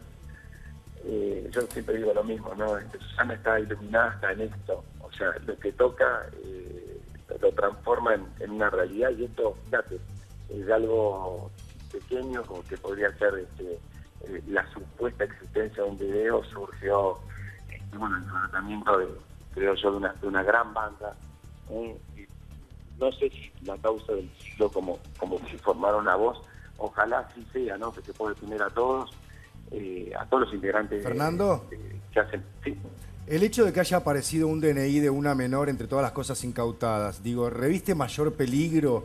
Eh, digo por esto porque bueno, la metodología de la gente que está con, con, el tema de la trata de personas es primero retenerle su documento, su pasaporte, todo, para después privarlo de su libertad, para que nadie los encuentre, bla, bla. Es una, es una cadena muy grande, digo, pero ¿reviste peligro esto o es un hecho aislado? No, no, es una prueba contundente de lo que nosotros sospechábamos. No solamente extorsionaban, sino que se dedicaban también a la prostitución infantil. Yo creo que es una prueba más que lo cuenten, vamos a ver de quién se trata, qué vínculo tienen, pero realmente eh, en, el, mundo jurídico, en el mundo de las investigaciones, que la prueba es algo este, importante. Bueno, determinaremos de, quién es. Eh, la sospecha de que detrás de esta gente había prostitución infantil este, siempre estaba eh, esperemos poder este, probar todas estas del extremo. Fernando, y, ideal para nosotros. ¿Y qué tan involucrado está el periodista Pablo Silva con esta con este nuevo allanamiento, con esta realidad? ¿Pensás que el periodista tenía que ver con esta banda? ¿Fue un simple intermediario, como él dijo? Pero, pero, Silva es, es una... No, no quiero utilizar objetivos calificativos porque tengo miedo de que me en la comunicación, pero realmente a Silva no puedo ponerlo en otro lugar era en, donde lo puso la investigación. Fue la primera persona que se sanó y fue a partir de ahí, de él, eh, que se determinó la existencia de toda esta organización. O sea que vos pensás que es parte de la banda, Silva. Silva quiso mostrar como, como este, una persona que quería darle una mano este, a, Susana Jiménez y a su entorno. Es una, gran, este, es parte de toda esta indígena parte de inmundicia. ¿Cómo podemos este, eh, pensar que una persona que quizás incluso lucrar, porque algo que según dice un informante en la investigación, se lo, se lo habían ofrecido 20 mil pesos y él pidió 8 mil dólares. ¿Dónde está Silva ahora, Fernando? ¿Volvió de Uruguay? ¿Ya se encuentra en nuestro país? ¿Va a ser citado? Eh, sí, solamente terminen la, las experiencias. Nosotros vamos a pedir la detención de Silva. O sea, Silva no va a quedar ajeno a, toda esta investigación, porque fue, en definitiva, quien se comunicó con este Inés Fernández y quien le pidió dinero a cambio de esos videos. Fernando. Ni, siquiera sabemos si existen. Fernando, ya hubo... Perdón, sí. Perdón. No, no, perdónenme, por favor.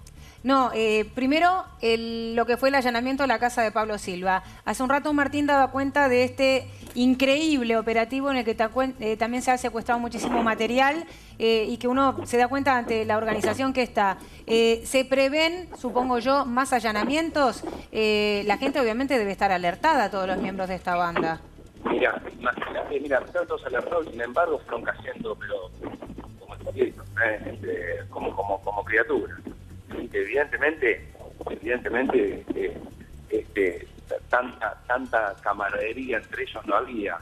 Eh, vos sabés que acá hubo una persona que habló, seguramente este hombre tenía mucha tranquilidad porque pensaba que no se lo iba este, a, a allanar o mencionar y sin embargo fue mencionado, allanado y aparte en el allanamiento se le secuestró este, eh, objetos y piezas que son de, mucha de mucha importancia para la investigación.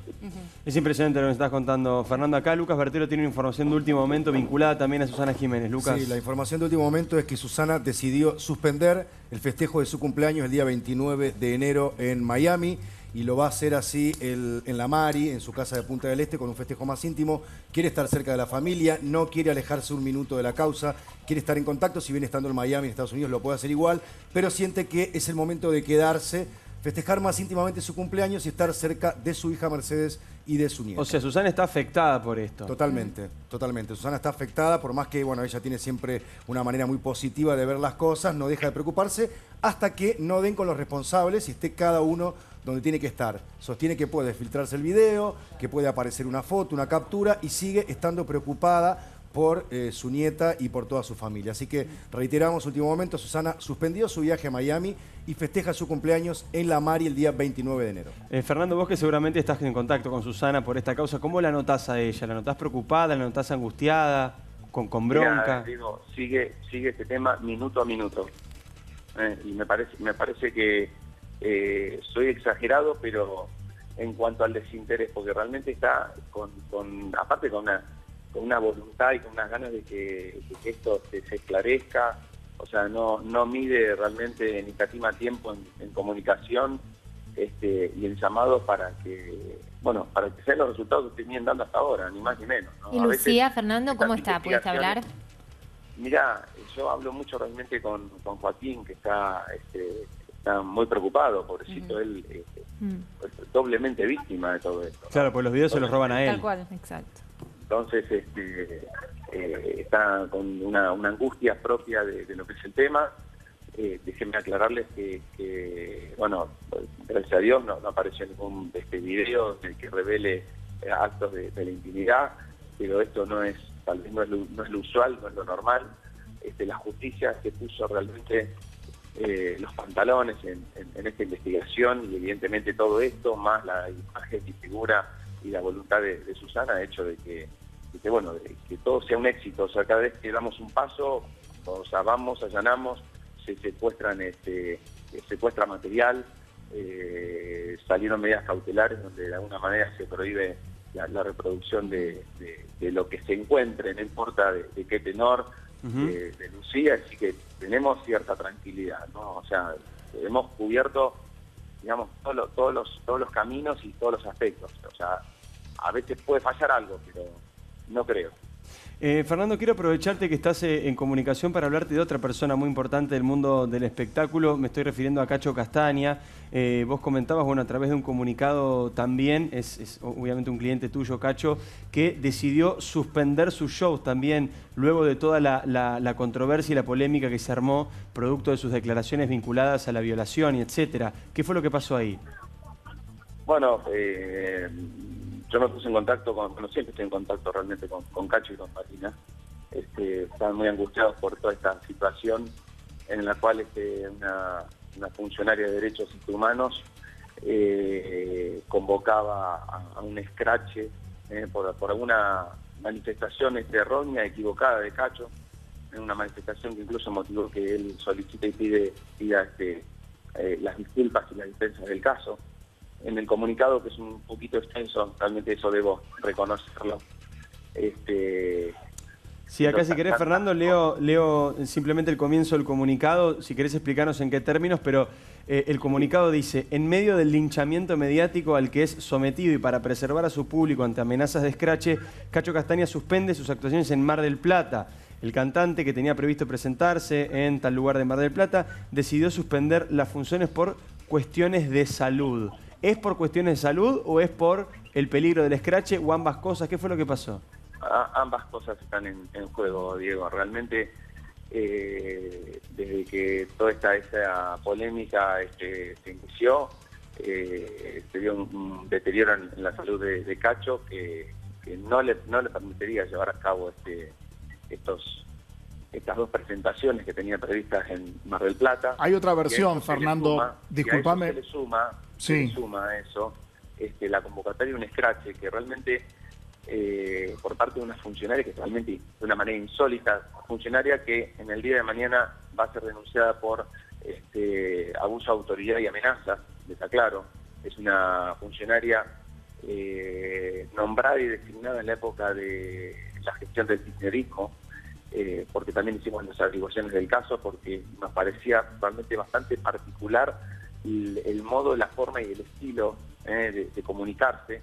Ella manda un, directamente eh, una carta desde, su posición y desde su lugar este, de, de, función, este, convocando un escrache, anunciándole a las autoridades del teatro que este tipo de situaciones no las podía permitir y que en el mismo momento incluso donde tenía que trabajar también, por ejemplo, Fátima Flores, este, iba a estar la gente eh, haciendo actos de repudio a las manifestaciones. Fernando, te referís, perdón, te referís a la... Disculpas, eh, te referís a la titular de la Comisión Nacional de Coordinación de Acciones de Elaboración de Sanciones por manifestaciones contrarias a las políticas de género, si, si mal no, no, entiendo, que es una comisión del Ministerio de Justicia. Ahora, en esta ida y vuelta con cartas con los productores de sala, y ahí viene la gran diferencia, no se habla de una suspensión de funciones, sino de un levantamiento de funciones por cuestión de género, porque hay una carta firmada por Marcelo Marán,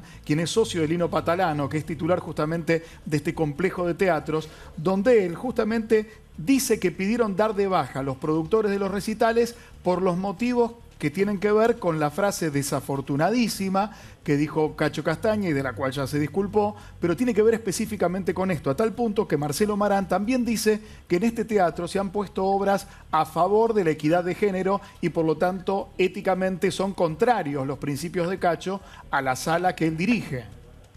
Una, una conjunción de un cóctel de situaciones realmente.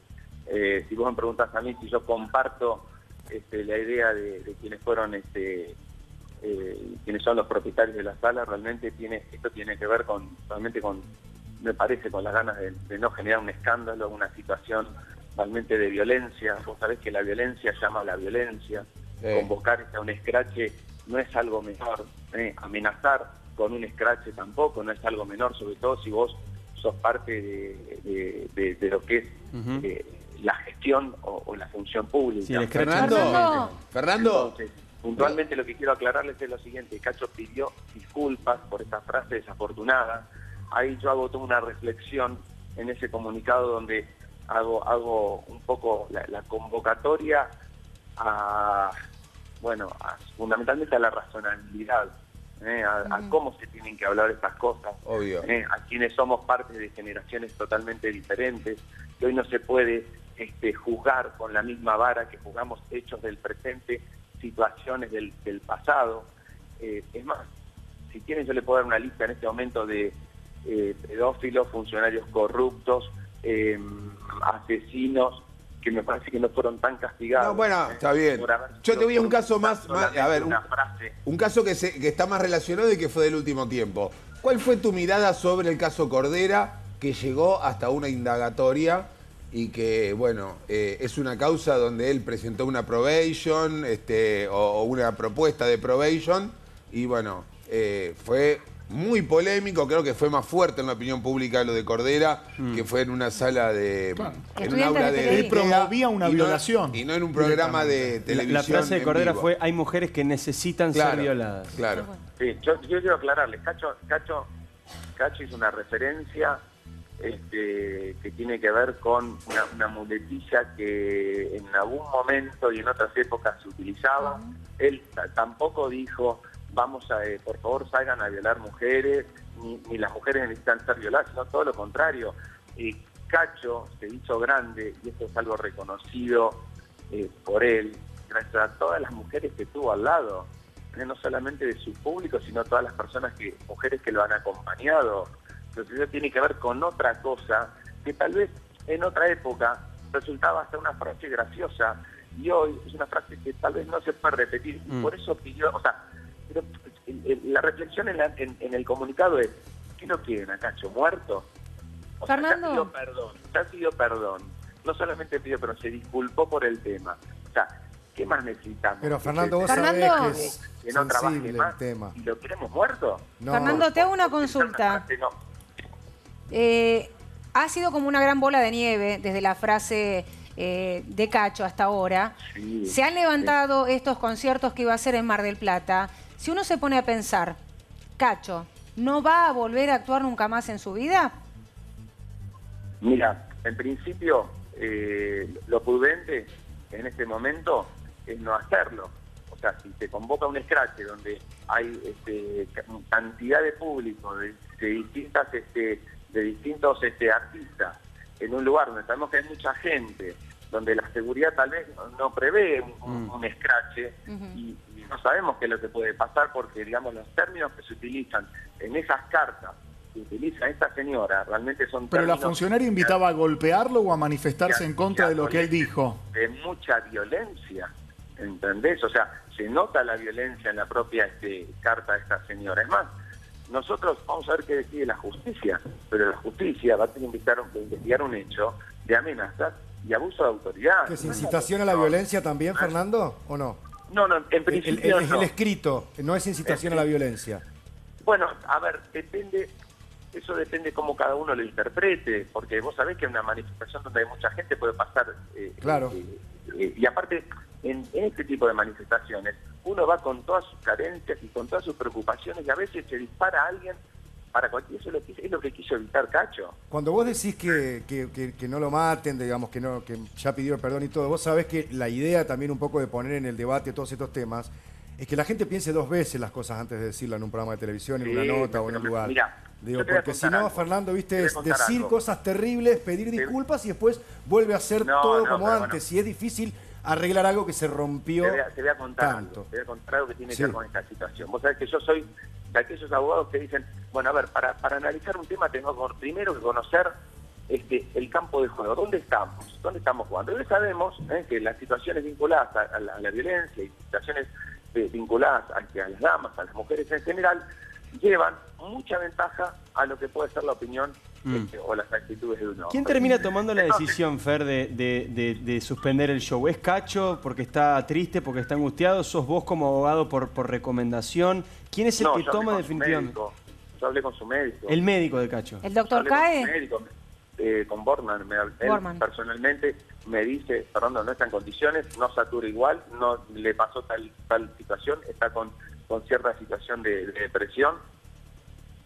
O sea, no, es el mejor momento. Perdóname, Fernando, ¿depresión de depresión arterial o depresión de depresión anímica? Depresión. Anímica, anímica, depresión. Pero Fernando, ¿esta es una situación que eh, Cacho está atravesando permanentemente o es algo que se le despierta cuando, bueno, cuando se pone nervioso por el hecho de que tiene salir, que salir y enfrentar a la gente, ¿no es cierto?, en una presentación, eh, o es algo que lo tiene, que lo mantiene perturbado durante todo el día. Digo, ¿cómo está él, ¿no es cierto? A pesar de que, de que fue muy poco feliz lo que dijo, eh, su salud eh, nos preocupa también. Esto lo tiene perturbado, lo tiene muy mal. aparte, reitero, o sea, que, o sea, su pregunta en, en su interior de decir, ¿qué más necesito hacer? Tienes que pedir disculpas para que esto de alguna manera, para que entiendan de que, primero que les una frase er-, errónea, que me equivoqué. Fernando. acá, también me parece, estamos ante una nueva agenda eh, y estamos ante un nuevo mundo, donde evidentemente lo que es la... A ver, hay cuestiones que por ahí, hay letras de canciones escritas hace 10 años yo no sé, digo, van a tener que decir, eh, como en los tiempos de los militares, esto no se pasa más mm. en un medio, porque son, digamos, de un tenor que hoy serían tomadas de Bueno, hay Cacho que una letra dejó de cantarla, ¿eh? Sí. Hay una canción que Cacho no la canta más. Si te agarro, con otro tema.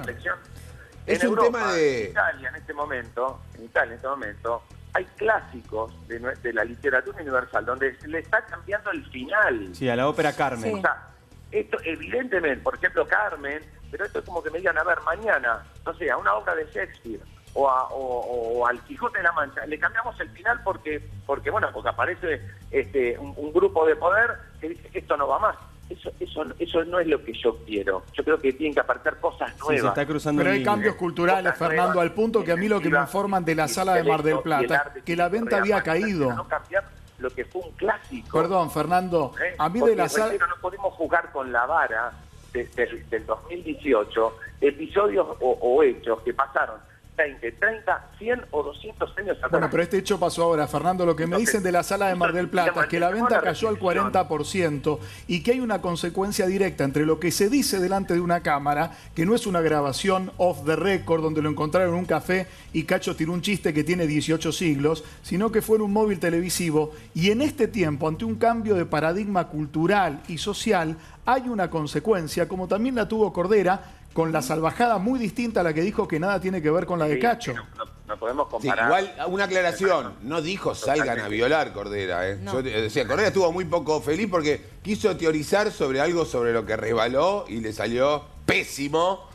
Eh, y él también a, las pocas horas pidió disculpas y también terminó levantando todo su. Igual él mintió también, porque él dijo que fue en el marco de una performance, no sé qué. el único que vivió en una performance fue él. Los demás estaban todos en una clase abierta. O sea que también acá. Acá la pregunta es si hay que volver otra vez, como pasó en época militar por otras cuestiones, con otro tipo de letras, a empezar a decir esto no se pasa más por radio y empezar a ver, vamos a ver las letras de todos. Este, si viola el derecho de otra persona, hay que recapacitar sobre esos parámetros. No es prohibición, es reflexión para cambiar lo que está pasando. entonces hay que revisar todas las letras. Pero no, esto no es contra el arte. Vez tendencia, o tal vez tendencia. bueno, asumamos tal tendencia donde esto no se prohíbe, pero tal vez no.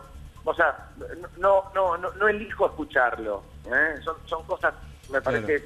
No, eh, no, no coartar libertades tampoco, ¿no? Digamos, no, no por defender un derecho se cuarten libertades. Me parece que lo está pasando acá, que estamos aprendiendo y estamos evolucionando como sociedad en su conjunto. Entonces hay cosas que ahora no se aceptan por suerte, que no se, que no se toman más, que no se naturalizan más.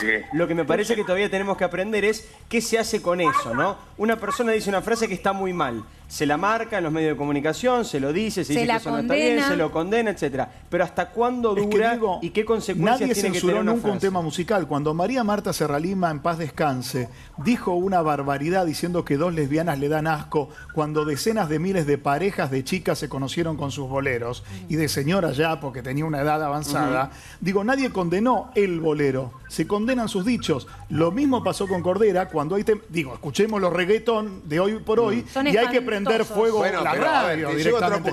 No se condena la obra artística, se condenan los dichos, invitando a situaciones sociales que hoy por hoy están... Bueno, pero, eh, hace dos días hablamos del Negro Almedo, el humorista del pueblo, el que más quisimos, el que más queremos. Sí, de hecho, Fernando Cuando se la llevaba la nena con el papá al fondo y volvía todo despeinado. ¿Te vuelve a hacer reír? Hoy mirás y decís... Un pedófilo. Hoy dirías que es un pedófilo. Pasó con Franchella. Primero, primero la nena tenía treinta y pico de años y se llamaba Adriana Broski. No, no, no ponían una menor de edad. Era ficción, no, era eso. Pero era, era cosificación de la mujer. Iba con la mamá.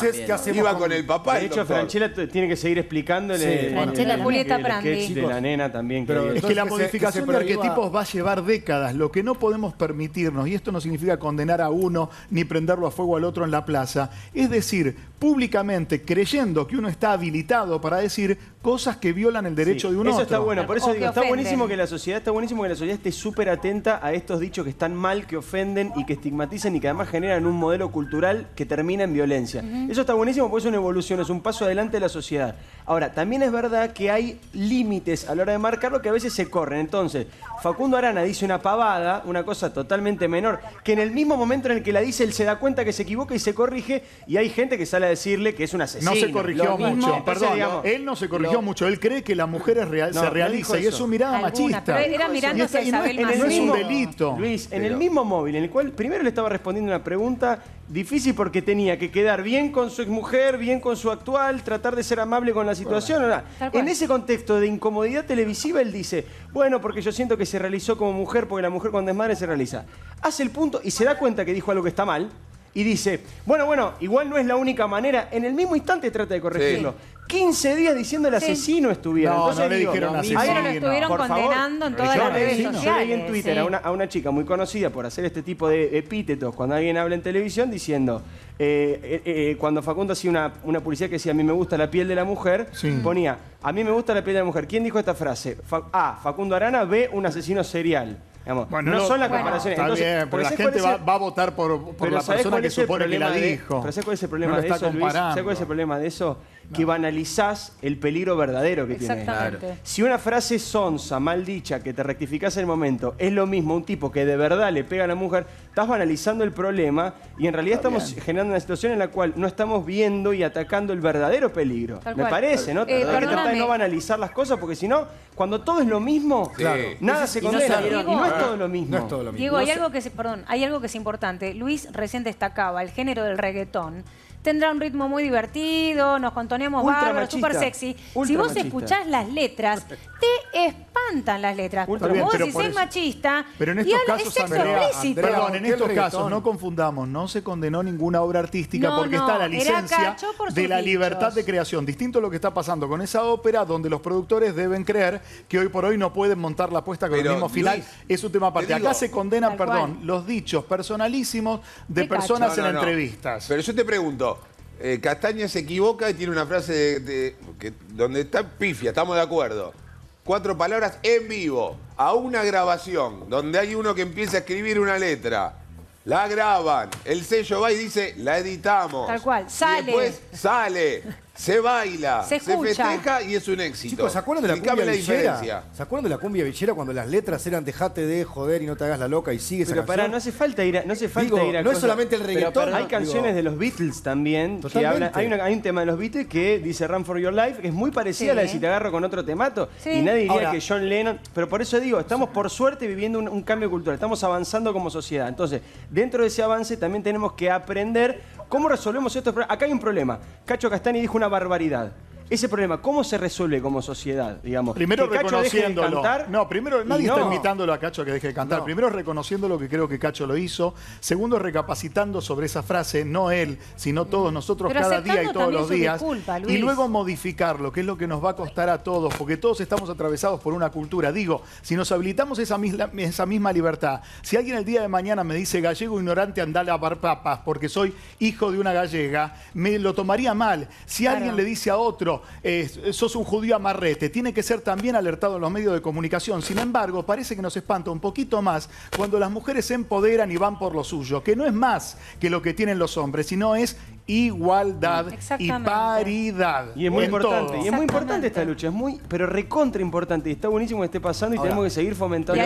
Pero también es cierto que como estamos aprendiendo, surgen cosas que todavía no sabemos cómo se que seguir trabajando, haciendo sus cosas y que la gente decida si lo quiere ver o no. no Fer, vos, Fernando, vos pudiste hablar con Cacho sobre esto, digamos, pudiste tener una charla mano a mano con él. ¿Él qué te dice lo que está pasando? Bueno, precisamente lo que, lo que yo escribo en, el comunicado tiene que ver con, la charla con la charla en profundidad que, tuve con Cacho y con, con su señora, ¿no? con Karina, mm. con los dos. O sea, a ver, eh, bien hay, ciertas preguntas que me hago yo como, como tratando de representar a la sociedad. O sea, bueno, ¿qué es lo que más se necesita como para, para satisfacer este, eh, este, este ese ánimo de justicia eh, o, de, esa convocatoria, un escracho. Bueno, ¿qué, qué, tengo que hacer para evitar esta situación? Ya pedí disculpas, ya tomé conciencia, convoco de alguna manera este, al, debate, porque todo lo que dicen ustedes es todo cierto. Pero ojo, no descartemos que también seguramente hay una gran parte de la sociedad que consume eso. Entonces, ¿quién tiene la razón en todo esto? Es realmente la, verdadera este, incógnita, ¿no? Si tiene la razón aquellos que, hacemos una crítica artera, porque obviamente no permitimos ningún tipo de violencia eh, hacia las damas, hacia la mujer o hacia al semejante, o aquellos que de alguna manera con, una canción, por ejemplo con el reggaetón, que realmente hay, hay, canciones que son realmente durísimas, pero bueno, Pero Fernando, no hay razón, hay ley. Vos sos un hombre de leyes. Hay una ley que es una ley que justamente condena las distintas violencias contra la mujer, tanto simbólica, económica, eh, qué sé yo. Se amplían a más de ocho, están tipificadas. Vamos, a tener, vamos a tener que generar este, muchos tribunales eh, en el ámbito administrativo. Por lo pronto, conciencia. Yo no creo que la justicia resuelva mucho esto. Perdón que me meta en tu eh. negocio, Fernando. Yo creo que la justicia termina todo esto en cruces, mediaciones, disculpas y les hacen perder muchas veces tiempo a muchos abogados. Pero eso, es parte, pero eso es parte del equilibrio de la justicia, ¿eh? No te confundas, o sea, a ver, eh, por ejemplo, yo a, esta señora que convoca un escrache y que, me, que genera que se suspendan este, eh, los los este, recitales de, Cacho, el día lunes también la estoy más allá de denunciarla penalmente, porque creo que hay un delito de por medio, obviamente división, también la voy a convocar a una mediación porque acá se generó un perjuicio económico eh, con motivo de esta carta que le manda a las autoridades del teatro. Entonces, todo tiene una sanción y quédate tranquilo que, o sea, a la gente no le gusta tener problemas judiciales o prejudiciales. No le gusta. Entonces, es parte de la solución. ¿eh? No, no, yo creo que en la justicia fue un rol te diría preponderante, mejor dicho, la ley con un rol preponderante. Pero un productor de sala dijo que levantó las funciones, que no tiene que ver, puede haber habido una invitación a la reflexión por parte de esta titular de la comisión a la que ni conozco, pero un productor de sala le dijo al productor del recital que lo levantara, porque además la venta era menor a la anterior. También va a tener explicaciones. ¿Por qué? Si es un, perdón, es un productor privado, puede poner en sus salas lo que quiera. Lo sumo le pagará la multa a Cacho por haberse. Después invita a un artista de reggaetón que le llena la sala y que eh, vamos para atrás, vamos para atrás, y, están todos perreando.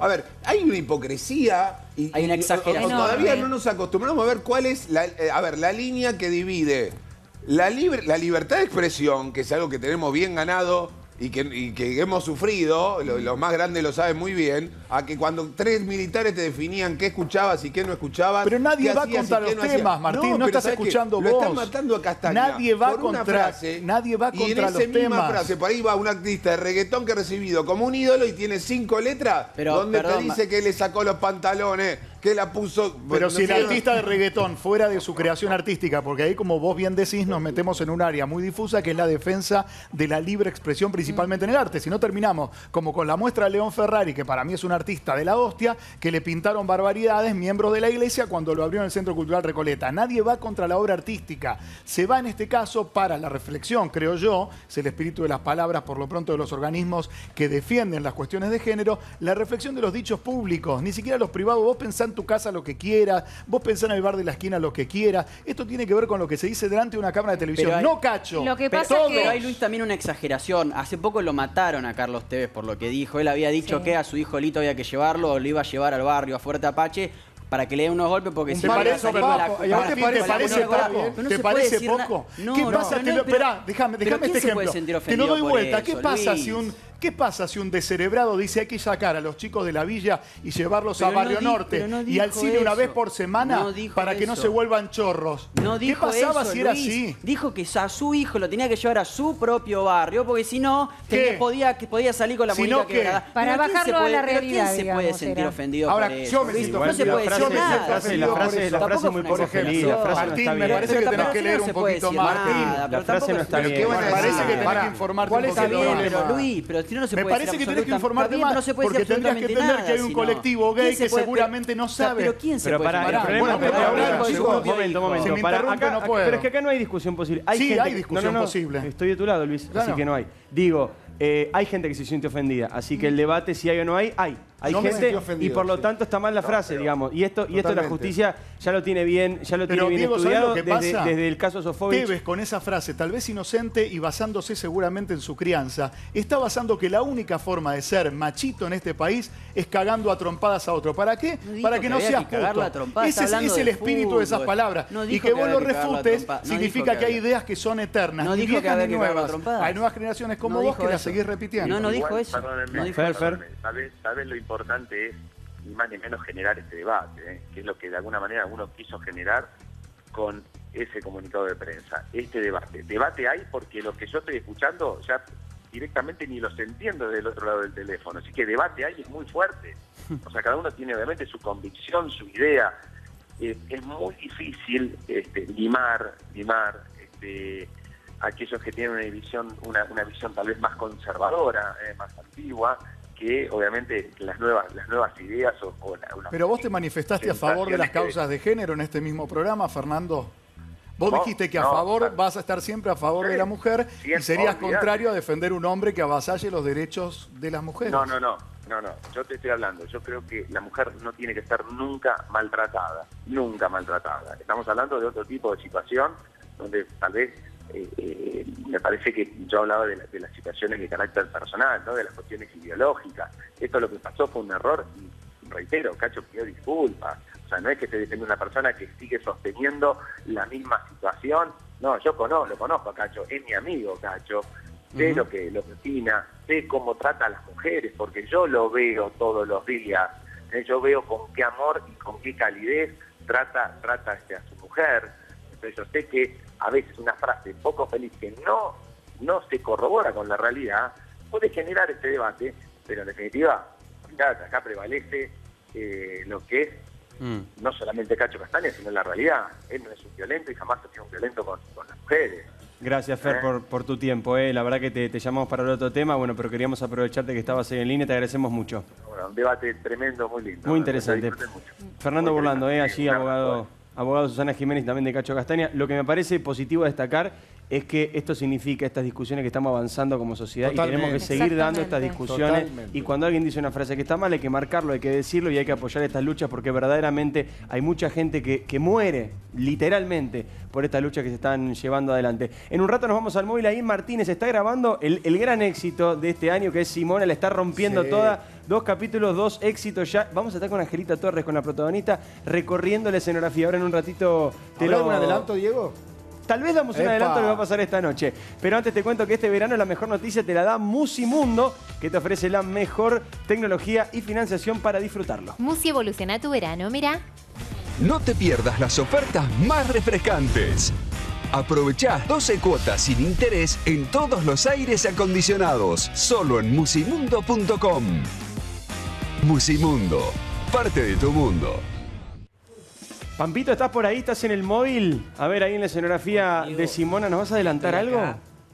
Te hablo despacio porque están grabando acá al lado nuestro. Otra vez. Está en la casa de Simona. Vamos otra vez en la, en la grabación. Duermen la siesta. Y, eh, no, esto, esto, es como un pasillo. Y en un ratito Simona obviamente va a hablar con nosotros. Vamos a tratar de interrumpir y de ver un poquito, de espiar un poquito de esta grabación. y vamos a adelantarte todo lo que va a pasar en el capítulo de hoy. No, me matan. ¿Nos, vas, a, ¿Nos vas a contar lo que va a pasar en el capítulo de hoy?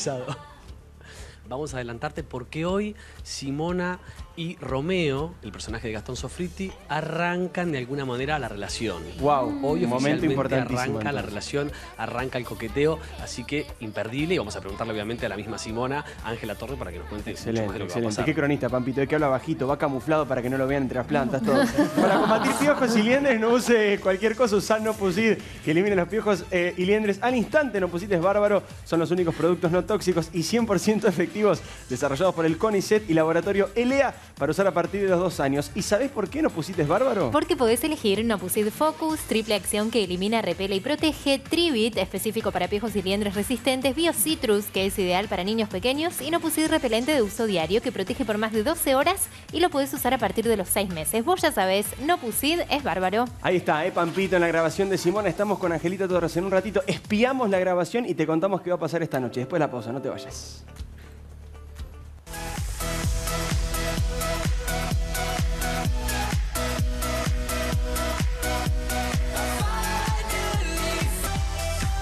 Seguimos acá en el diario de Mariana. Te cuento que este jueves llega a los cines Tadeo, el explorador perdido 2. Solo él y sus amigos podrán salvar al mundo del maléfico rey Midas. Para toda la familia, mira.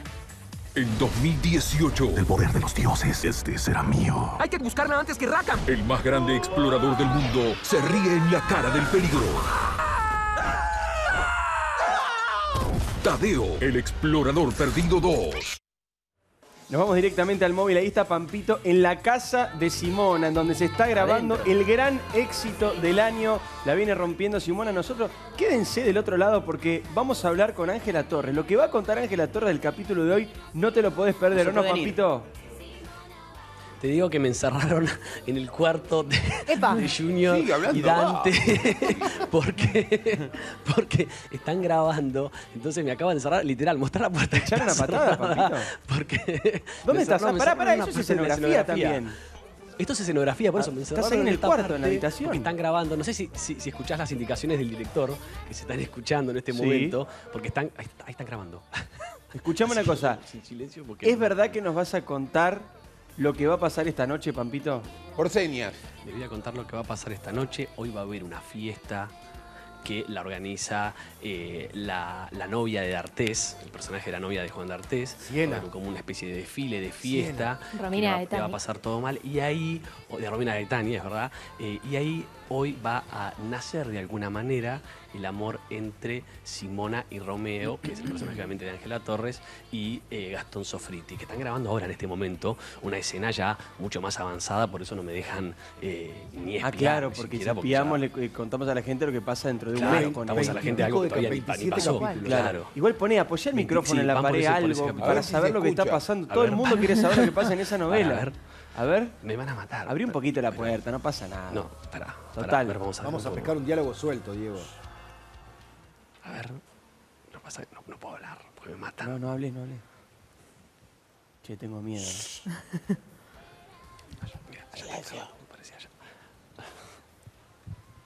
Uy, nos estamos metiendo, pará, nos estamos metiendo a posta. ¿Se puede esto o no? No. Vamos a romper la escena. Está chequeado. Ahí está. Hasta ahí nomás, hasta ahí nomás, papito. Para, para, hasta ahí nomás. Hasta acá, hasta acá, hasta acá. No quiero tener problema con nadie, no quiero tener problema con nadie.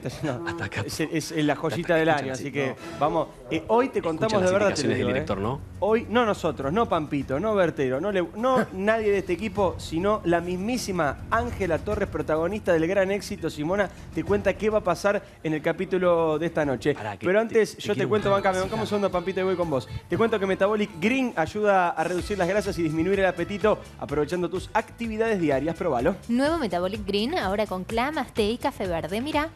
Con el nuevo Metabolic Green y lo que haces cada día, vas a verte como querés.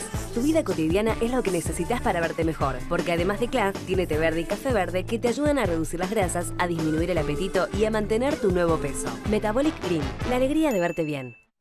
Muy bien, nos metemos en la grabación, te contamos lo que pasa en el capítulo de hoy de Simona, no nosotros, eh, me corrijo. Ángela Torres en persona, la protagonista Simona. del gran éxito del año, te cuenta lo que va a pasar. Y además, te contamos, eso sí nosotros, Noé, ¿dónde pasaron la noche? Epa. Atención, ¿eh? Nicole y Moyano, reconciliados, ¿dónde pasaron la noche? La noche y parte de la mañana y parte del día, porque hace media hora salió Nicole de este lugar. ¿Con el pelo Que mojado? nos va a sorprender a todos. donde pasaron la noche, se fueron anoche tarde, se quedaron ahí a dormir, Mm. entre otras cosas. Y hace media hora salió Nicole de este eh, lugar. se tomó su Epa, tiempo, epa, epa. se Cuando lo escuchan no lo van a poder creer. Está, y después de la pausa, vamos. Ah. Seguimos acá en el diario de Mariana. Los detalles que tiene Noé sobre dónde durmieron Facundo Moyano y Terrible. Nicole Neumann no lo puedo creer. Pero vamos rápidamente ahí a la grabación de Simona. ¿Estamos con Ángela Torres, con la protagonista, Pampito? Todavía no, la voy a ir a buscar porque está ensayando. Anda a buscarla, para anda a la buscarla, próxima dale, dale, vamos a buscarla en Vamos- vivo Vamos a ir a buscarla porque que soy. ahora corro menos peligro de que me maten, ¿me entendés? Claro, está sí. Tenías un puntero láser en la frente en un momento antes, por eso nos fuimos por Acá- las dudas. Ángela, ¿cómo estás? ¿Todavía estás con tu hermana? La sorprendimos. Simona, tu Hola. hermana del corazón. ¿Cómo estás? ¿Todo bien? Bueno, perdón, los interrumpo en el ensayo. ¿Cómo va? Pero vamos a saludar. ¿Cómo estás? Mira, Bien, vos, Genia, María Rosa. Mae, Genia total. Bien, acá estamos con las niñas. Qué lindo. ¿Cómo se porta, Simona? Bien, bien, bien. Es un poco revoltosa, pero es lo lindo que tiene. Bueno, Ángela, ¿cómo estás? Me, voy, me voy, me voy con ustedes. Espera, te, te paso acá retorno, Dame que te quieren saludar en el piso. comunicarme. Chicos, justo ayer estuve mirando la, la nota que le hicieron a Gastón el otro día y me pareció muy divertida. Ay, qué bueno. Vamos a mostrar lo, lo que nos queda. Nos Estamos en tu alegramos casa, mucho. Estamos en la casa de Simona. Nos alegramos mucho, Ángela, porque nosotros nos encanta lo que están haciendo, así que bueno, es, es recíproco. Nos volvimos fanáticos de la novela de ustedes, así que tal vez los visitamos todos los ¿Te días, gustó? te digo. Sí, está buenísimo. sí, me encanta, son bienvenidos. y la están rompiendo además. ¿Te esperabas esto? Eh, sí. Vamos todavía, me gusta esa actitud, ¿eh? Me gusta ¿eh? esa actitud. Arriba. Lo esperaba porque confío en que lo que estamos haciendo es muy divertido y está muy bueno, así que sí, lo esperaba, lo esperaba. Además me parece que, que es un proyecto muy moderno, ¿no? Como muy nuevo que haya tantos adolescentes en este horario y el programa también se ve como súper moderno. Me parece que, que sí, que vamos para adelante con O- todas. hoy arranca el amor. Hoy arranca el amor, chicos, miren, miren lo que hago, miren lo que hago. Wow, o sea, nos estás adelantando, Me enteré que Simona nos está adelantando lo que pasa Sí, esta sí. noche. Que el amor arranca Esta en la noche que ducha. empezamos 21 a 30. Así es, 21 a 21 a 30, 30 hoy. horario de hoy. No lleguen es. tarde porque por ahí se pierden la Ay, escena sí. Claro. del amor. Hoy La arranca la con... Ayer fue. No, no. No, no, no. la- la- la- las escenas ahí con Gastón son, son muy lindas, muy divertidas por sobre todo, porque somos medio antihéroes los dos, ¿viste? Es como gracioso lo que se genera. Eso es divertido. Porque no somos ni la, ni la, la linda típica, ni el típico lindo galán. Jugamos por otro lado y eso es No divertido. quiero mandarla al frente a Simona, pero me contaron que hoy Simona toma unas copas de más. Epa. Bueno. No quiero mandarla al frente, pero hoy se Bueno. toma una- unas- unos champancitos de más. No, el capítulo de hoy, chicos, es, es muy divertido. Creo que es uno de los más lindos del capítulo de Epa, hoy. ¿eh? qué lindo. Hay, hay un, hay un clipcito de música muy hermoso. Eh, sí, sí, la verdad es que se pone un Angelita. pedo tremendo. Más que unas copitas, además se toma, se, se toma el bidón de champán entero Epa. y queda Ah, volteada. Ángela. No, queda volteada. ¿Sos vos la que le arruina la fiesta a, a la novia de Artés? No podría contestarte eso. Mirá, necesito que lo veas. Bien, No, pero- pre- bien Pampito a- preguntando, ¿eh? Bien ahí afilado con las preguntas, Ángela. ¿eh? me encanta. Te quería hacer una pregunta, Lucas Vamos a Bertero recorrer te un poco la... Hola, Lucas. ¿Cómo andás, corazón? Mira, vos sabés que yo hace tres o cuatro años me junté con tu mamá, en- eh, me encontré con tu mamá en la fiesta de una revista de fin de año y vos estabas empezando a hacer tus pasos y yo le preguntaba y ella me dice, yo quiero que termine de estudiar y que después se dedique, vos estabas dando tus primeros pasos. ¿Qué dice Cambió Gloria de Carrá? opinión en un segundo, Bueno, chicos. ¿qué dice Gloria Carrá hoy que prácticamente tiene que pagar una entrada para ir a verte? Eh, bueno, Gloria Carrá hoy me imagino que está muy orgullosa, muy feliz, eh, contenta. Yo estoy cumpliendo un sueño, es algo que un poco siempre supe que estaba en mi destino, lo estaba esperando, siendo sincera, soy un poco brujita yo. Y, y siempre lo esperé y supe que en algún momento iba a llegar y ahora está pasando, bueno, me tengo que hacer cargo de todo esto. Muy En un posteo de Instagram te, te puso algo muy lindo. Lloré mucho cuando lo vi, porque estaba muy emocionada. Acabamos de terminar de ver el, el primer capítulo que fue así como súper especial y Contemos importante. ¿Cómo fue esa anécdota que cuenta Adrián en, el, en Instagram? Sí, obvio, obvio. Y, y veo que me pone, me, me están haciendo entrar, me hacen muchas señas, no puedo toda la vez. Entremos a tu cuarto. Contar, la emoción, llorar, mostrarles Pampito, el- dejá, pa- dejá laburar a la gente. Quería pasar un iluminador ahí atrás para Claro. iluminar la escena y estábamos ahí molestando. Hacenos un tour, Angelita, mostranos un poco, a ver un, un recorrido por todo. Sí. Mirá lo que es ese Bueno, lugar, está buenísimo. Están en el cuarto de Simona y Chipi. Acá Cuarto en cuarto. Sí, acá duerme Simona. Acá en este acolchado hermoso con esta ventana linda. Mirá qué sol que hay afuera. Sí, viste, está muy soleado, muy caluroso. Acá el- Chipi. Siento que me gusta más el lado del. El lado de Chipi es más lindo, como con todo esto ahí. Mira ahí sus pósters. ¿no? Sí, está buenísima, te digo, estamos la... en- Estabas contando la anécdota de, de Adrián. De Adrián, bueno, sí. Eh, y nada, y sí, me acuerdo que hace 11 años, yo era muy pequeña, eh, en un cumpleaños de mi mamá, yo le dije, yo voy a protagonizar una novela en polka. Muy segura. Y, y me puso eso, me puso, recuerdo que hace 11 años me, me dijiste esto y veo que todo lo que te propones lo cumplís. Y yo llanto, llanto y dolor, todo y emoción y nada. Fue como llegué a mi casa, leí eso, acababa de terminar de ver el primer capítulo y lloré, lloré 15 minutos así sin parar, llamando a mi papá tipo, papá, calmame porque tengo una alegría que no, no me baja nadie de acá. Así que nada, sí, nada, viviendo una locura. Además el público acompañó muy bien. Sí, acompañó muy bien, la verdad que sí, estamos todos así como muy, muy contentos. Ángela, ¿qué, qué porcentaje hay de que ya se confirme el teatro para vacaciones de invierno? Porque todo viene Ah, tan wow. bien. ¡Qué apurado! No, no, no, no. Pará que ni nada se besó.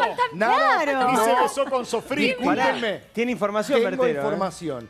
Ya Mm. están las primeras conversaciones con los teatros, con uno sobre todo, para llevar Simona al teatro. Así que Pará si no que lo tenés, sabías, tenés más información que te yo. estoy dando la primicia. Sí, sí, es así. Así ¿Cómo te. Muy bien. No, yo siento que va a ser lo mejor, como lo, lo más divertido que, que nos pueda pasar. La verdad es que en el teatro se la pasa bárbaro, más si, si nos llevamos así de bien como nos llevamos entre todos nosotros, que la pasamos muy bien, yo creo que sería un exitazo, ¿sí? ¿Se armó no, grupo? ¿Se armó grupo entre ustedes ya? Porque son todos de, de la- sí. más o menos la misma edad. Uno imagina que se llevan bien, que más fácil, ¿viste? Sí, Como que están todos claro. en la misma. Sí, sí. Sí, sí, de hecho yo no veo la hora de salir de joda con mis compañeros. Yo los estoy arengando, chicos, vamos, vamos, vamos. Y tomar el champagne de verdad. Claro, un poquito, un poquito para festejar. Y Ahora, hoy estoy buscando más temas de, de- de la ficción, porque en, en esta, digamos, en esta plataforma donde uno escucha música, Sí. hay uno solo. Hay uno ¿Cuándo, solo. ¿cuándo suben los La otros? semana que viene me han- eh, le pregunté a los de Warner, acá eh, Paula Granica, la, la productora, me hace. Eh, pero yo, yo le pregunté a los de Warner eh, y me dijeron que parece que en una semana van a empezar a subir to- todos los temas. a- muy linda, que es la que cantás en, la- en las promos. Mm, no sí. esta que estamos escuchando ahora, la otra. Hay muchas, la verdad que los temas son hermosos y para el teatro siento que pueden tener una apuesta así como muy linda. Eh, yo estoy muy ilusionada, a mí me encantaría que, que eso sucediera así. Le estamos poniendo toda la garra para que esto sea nada. Ahí estábamos viendo a ¿Seguimos Angelita no? recién, perdón, Pampi. Sí, ahora qui- quiero recorrer un poquito, que nos muestren un poquito más, pero le cuento a Angelita y a vos, Pampito, que estamos viendo ahí justamente en el Instagram de Adrián Suar, arroba el chueco Suar, Qué lindo. donde dice, hace 11 años me dijiste, algún día voy a protagonizar una tira en polka. Está claro que todo lo que te propones lo conseguís. Y una foto hermosa de ustedes dos abrazados. Eh, ¿De cuándo es esa foto, Sí. Angelita? Del estreno, del, del día del estreno, Sí, claro. Del lunes cuando estrenamos. ¿Y Sí, qué te dijo? Llegó cuando yo ya me había bailado 180 temas, ya estaba sudada. Le dije, Adrián, ¿por qué llegas ahora? Que estoy hecha mierda, llegué divina antes. Tuvimos ¿Te dijo algo cuando estaba- en ese momento en persona? ¿Te, te llegó a decir algo o te dijo todo con Sí. ese posteo en Instagram? No, estaban, estaban felices. La verdad que el posteo igual me emocionó mucho. Apenas lo vi, llegué a mi casa, después de llorar le mandé un audio. Le mandé un audio a él y a Gastón y Gastón hasta el día de hoy se me sigue riendo. ¡Ah, el audio que me mandaste! Y yo tipo, boludo, estaba emocionada, de verdad. Ángela. Angelita, ¿te pasa cuando te ves eh, que sos crítica con vos, sos exigente, cuando miras los capítulos decís lo podría haber hecho de otra manera o sos como más relajada, te gusta verte? Eh, me gusta verme y me gusta estar relajada, me gusta no volverme loca, o sea, no castigarme por, pero también me encanta verme para, para ir construyendo algo y que vaya creciendo, ¿no? No, no, no me gustaría que siempre esté igual, o sea, o sea, monótona o repetitiva, o, sí me gusta verme para, para evolucionar y para corregir lo que no me gusta o, o nada, o, o ver qué funciona, qué no funciona. No soy de decir, ay, qué horrible, me, me quiero morir, porque también te, te volvés loco, ¿no? Hay cosas que me gustan, cosas que no, es normal. Ángela. Para, para, podemos ir mostrando un poquito de, de- de lo que es la escenografía. Sigamos. Eh, eh, llevanos, vamos de la a mano la- de Angelita Torres a recorrer la casa y la escenografía de Simona. Pará, Me gustaría ir a la casa, vos tapate los oídos, Simona, a la casa de la mamá eh, biológica, de tu mamá biológica. Que no se Venga. entere ahora. Bueno, vamos. Maru. te. La casa, de, la casa de Marilina, siento que yo quiero vivir en una casa así. Ay, sí. O sea, más que la de los Guerrico. me copa esa casa. A ver. Que en No realidad no, es la casa de. Marilina. Es la casa. Sí, a veces me duermo ahí, olvídate. Acá, acá hay algo, por ejemplo. ¿Qué hay acá? A ver. es la Este es casa el de la de amiga, Marilina. claro. Ay, y acá, y acá lo tenemos a Chiqui, que es el cámara, que es un capo. Ojo con abrir así Uy, la puerta porque llegamos. durmiendo. Golpea, golpea Angelita. primero, Angelita. Golpeemos la puerta por las Sí. dudas. Porque puede haber gente Bueno, durmiendo. Sí, o cambiándose. Hay gente durmiendo. No A te esta mates. hora, el, ¿viste? el camarógrafo. Vamos por Por acá. acá. Un poco oscuro acá, pero acá en, en la- el estudio ya. Es gigante. Los estudios de, de- Me encantan. Bueno, acá. Acá. te- acá. Se hizo la luz. Se hizo la luz. Esta es la casa de Marilina y de Angie, porque es de Angie. En realidad Marilina se está quedando acá. Me encanta bien decorado y me encantan las tazas. Soy muy fanática de las Puede tazas. ser que en algún momento vivas acá. Más adelante, falta. Faltan, ¿sabes cuánto? 10 años faltan. Falta mucho. 10 años. Eh, bueno, acá estamos. Es muy lindo, ¿no? A mí yo- un, un jardincito de invierno. ¿no sienten que, que re podrían vivir acá? Me mostrar para Sí, allá, totalmente. Es espectacular esta ciudad. Siempre son así, Es Angelita, hermosa, mirá acá perdóname. la cocina. Por- yo obviamente nunca hice eh, ficción. ¿Siempre son así las escenografías tan bien hechas, tan completas, porque de verdad parece una casa o acá hay una, una producción grande atrás de lo, de lo que están haciendo ustedes? Como yo te decía, creo que este es un programa muy nuevo y con un formato muy moderno. Como que siento que viéndolo, viste, está todo como programado como si fuera Instagram. Es como, es, es nuevo para mí lo, Ah, lo- lo ok. que están haciendo. Están Ah. apostando a algo nuevo Se para nota, porque estamos recorriendo, es increíble lo que estamos Lavarropa, haciendo. Bien. Ahora, yo quería preguntarte, en, en una era donde las tiras a la noche son eh, eh, de, nombre, de nombres corales, ¿no? Este, que recaiga el peso en Simona, que en este caso es tu personaje. Simona. ¿Es, ¿Vos lo notas como un premio? ¿Te gusta? ¿Es un orgullo? ¿O es un peso más grande que estar en las todo, estrellas que eran cinco? todo. Eh, yo creo que todo junto, ¿no? O sea, sí, es un peso enorme, obvio lo es. Eh, pero me siento muy orgullosa de que me hayan elegido para tener ese peso y me siento muy privilegiada y, y- y muy ag- agradecida. Eh, no, es- no es algo que me, que me parece malo. Me parece que está buenísimo también sentirlo. Hace mucho no sentía esa adrenalina así. El lunes estaba. Fue el día como. Te más- vimos. Ah, Te bueno. vimos. No sabes cómo estuve. Después, cuando me fui después de las 6 de la tarde, estaba así. El, el peluquero me peinaba y me decía, nunca te vi así. Yo estaba así. Llegué y no paré de sonreír hasta las 3 de la mañana. No me dormía nadie. Ahora, ¿qué otros famosos te felicitaron después del estreno? No muchos. No muchos.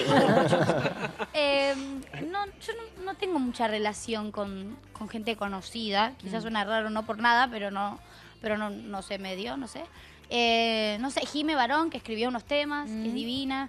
Natalie. eh, ¿Quién más? ¿Quién Ah, vos más? sos- vos sos amiga Natalie Natalie Pérez. Natalie Sí, Pérez, Natalie, sí, claro. sí. Que viene Sí, a protagonizar el éxito de las estrellas. Yo no es que no tengo amigos porque no tengo amigos, ¿eh? sino que tengo ya un grupo de amigos de toda mi vida muy, Claro. muy armado y como que no me despego de... de Mantener los mismos amigos de siempre. tuiteó. Tinelli tuiteó y lo, lo vi ayer. Ayer vi que tuiteó y se lo retuiteé, sí, divino.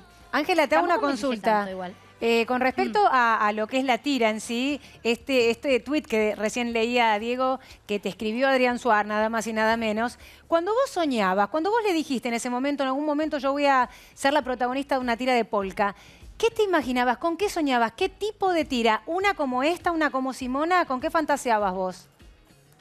Sí, yo en ese momento eh, iba, yo tenía siete años cuando le dije eso, y mm, yo iba mucho a las grabaciones de mi mamá, mi mamá estaba grabando Patito Feo, yo la acompaño a mi mamá de toda mi vida, así a ensayos de teatro, grabaciones, etcétera, Eh, y en ese momento soñaba mucho con hacer algo así, musical, para bailar, yo me imaginaba como en un escenario, nada, sueños que tenía ¿Te cumplió? De, de pequeña, sí, acá estoy acá por eso cuando, cuando lo leí fue como, uy, ¿Cómo pasa el tiempo? ¿Qué flash? Ya está pasando esto, llegó. lo, lo atraje, lo decía tanto, como, bueno, nada, un montón de cosas. Es muy Pero loco. vos dijiste recién, Angelita, Sí. algo, algo que me parecía muy interesante eh, de la gente Mm. que tiene esta energía y este ángel que tiene, bueno, justamente Ángela, Mm. eh, que vos decías, yo sabía que iba a llegar.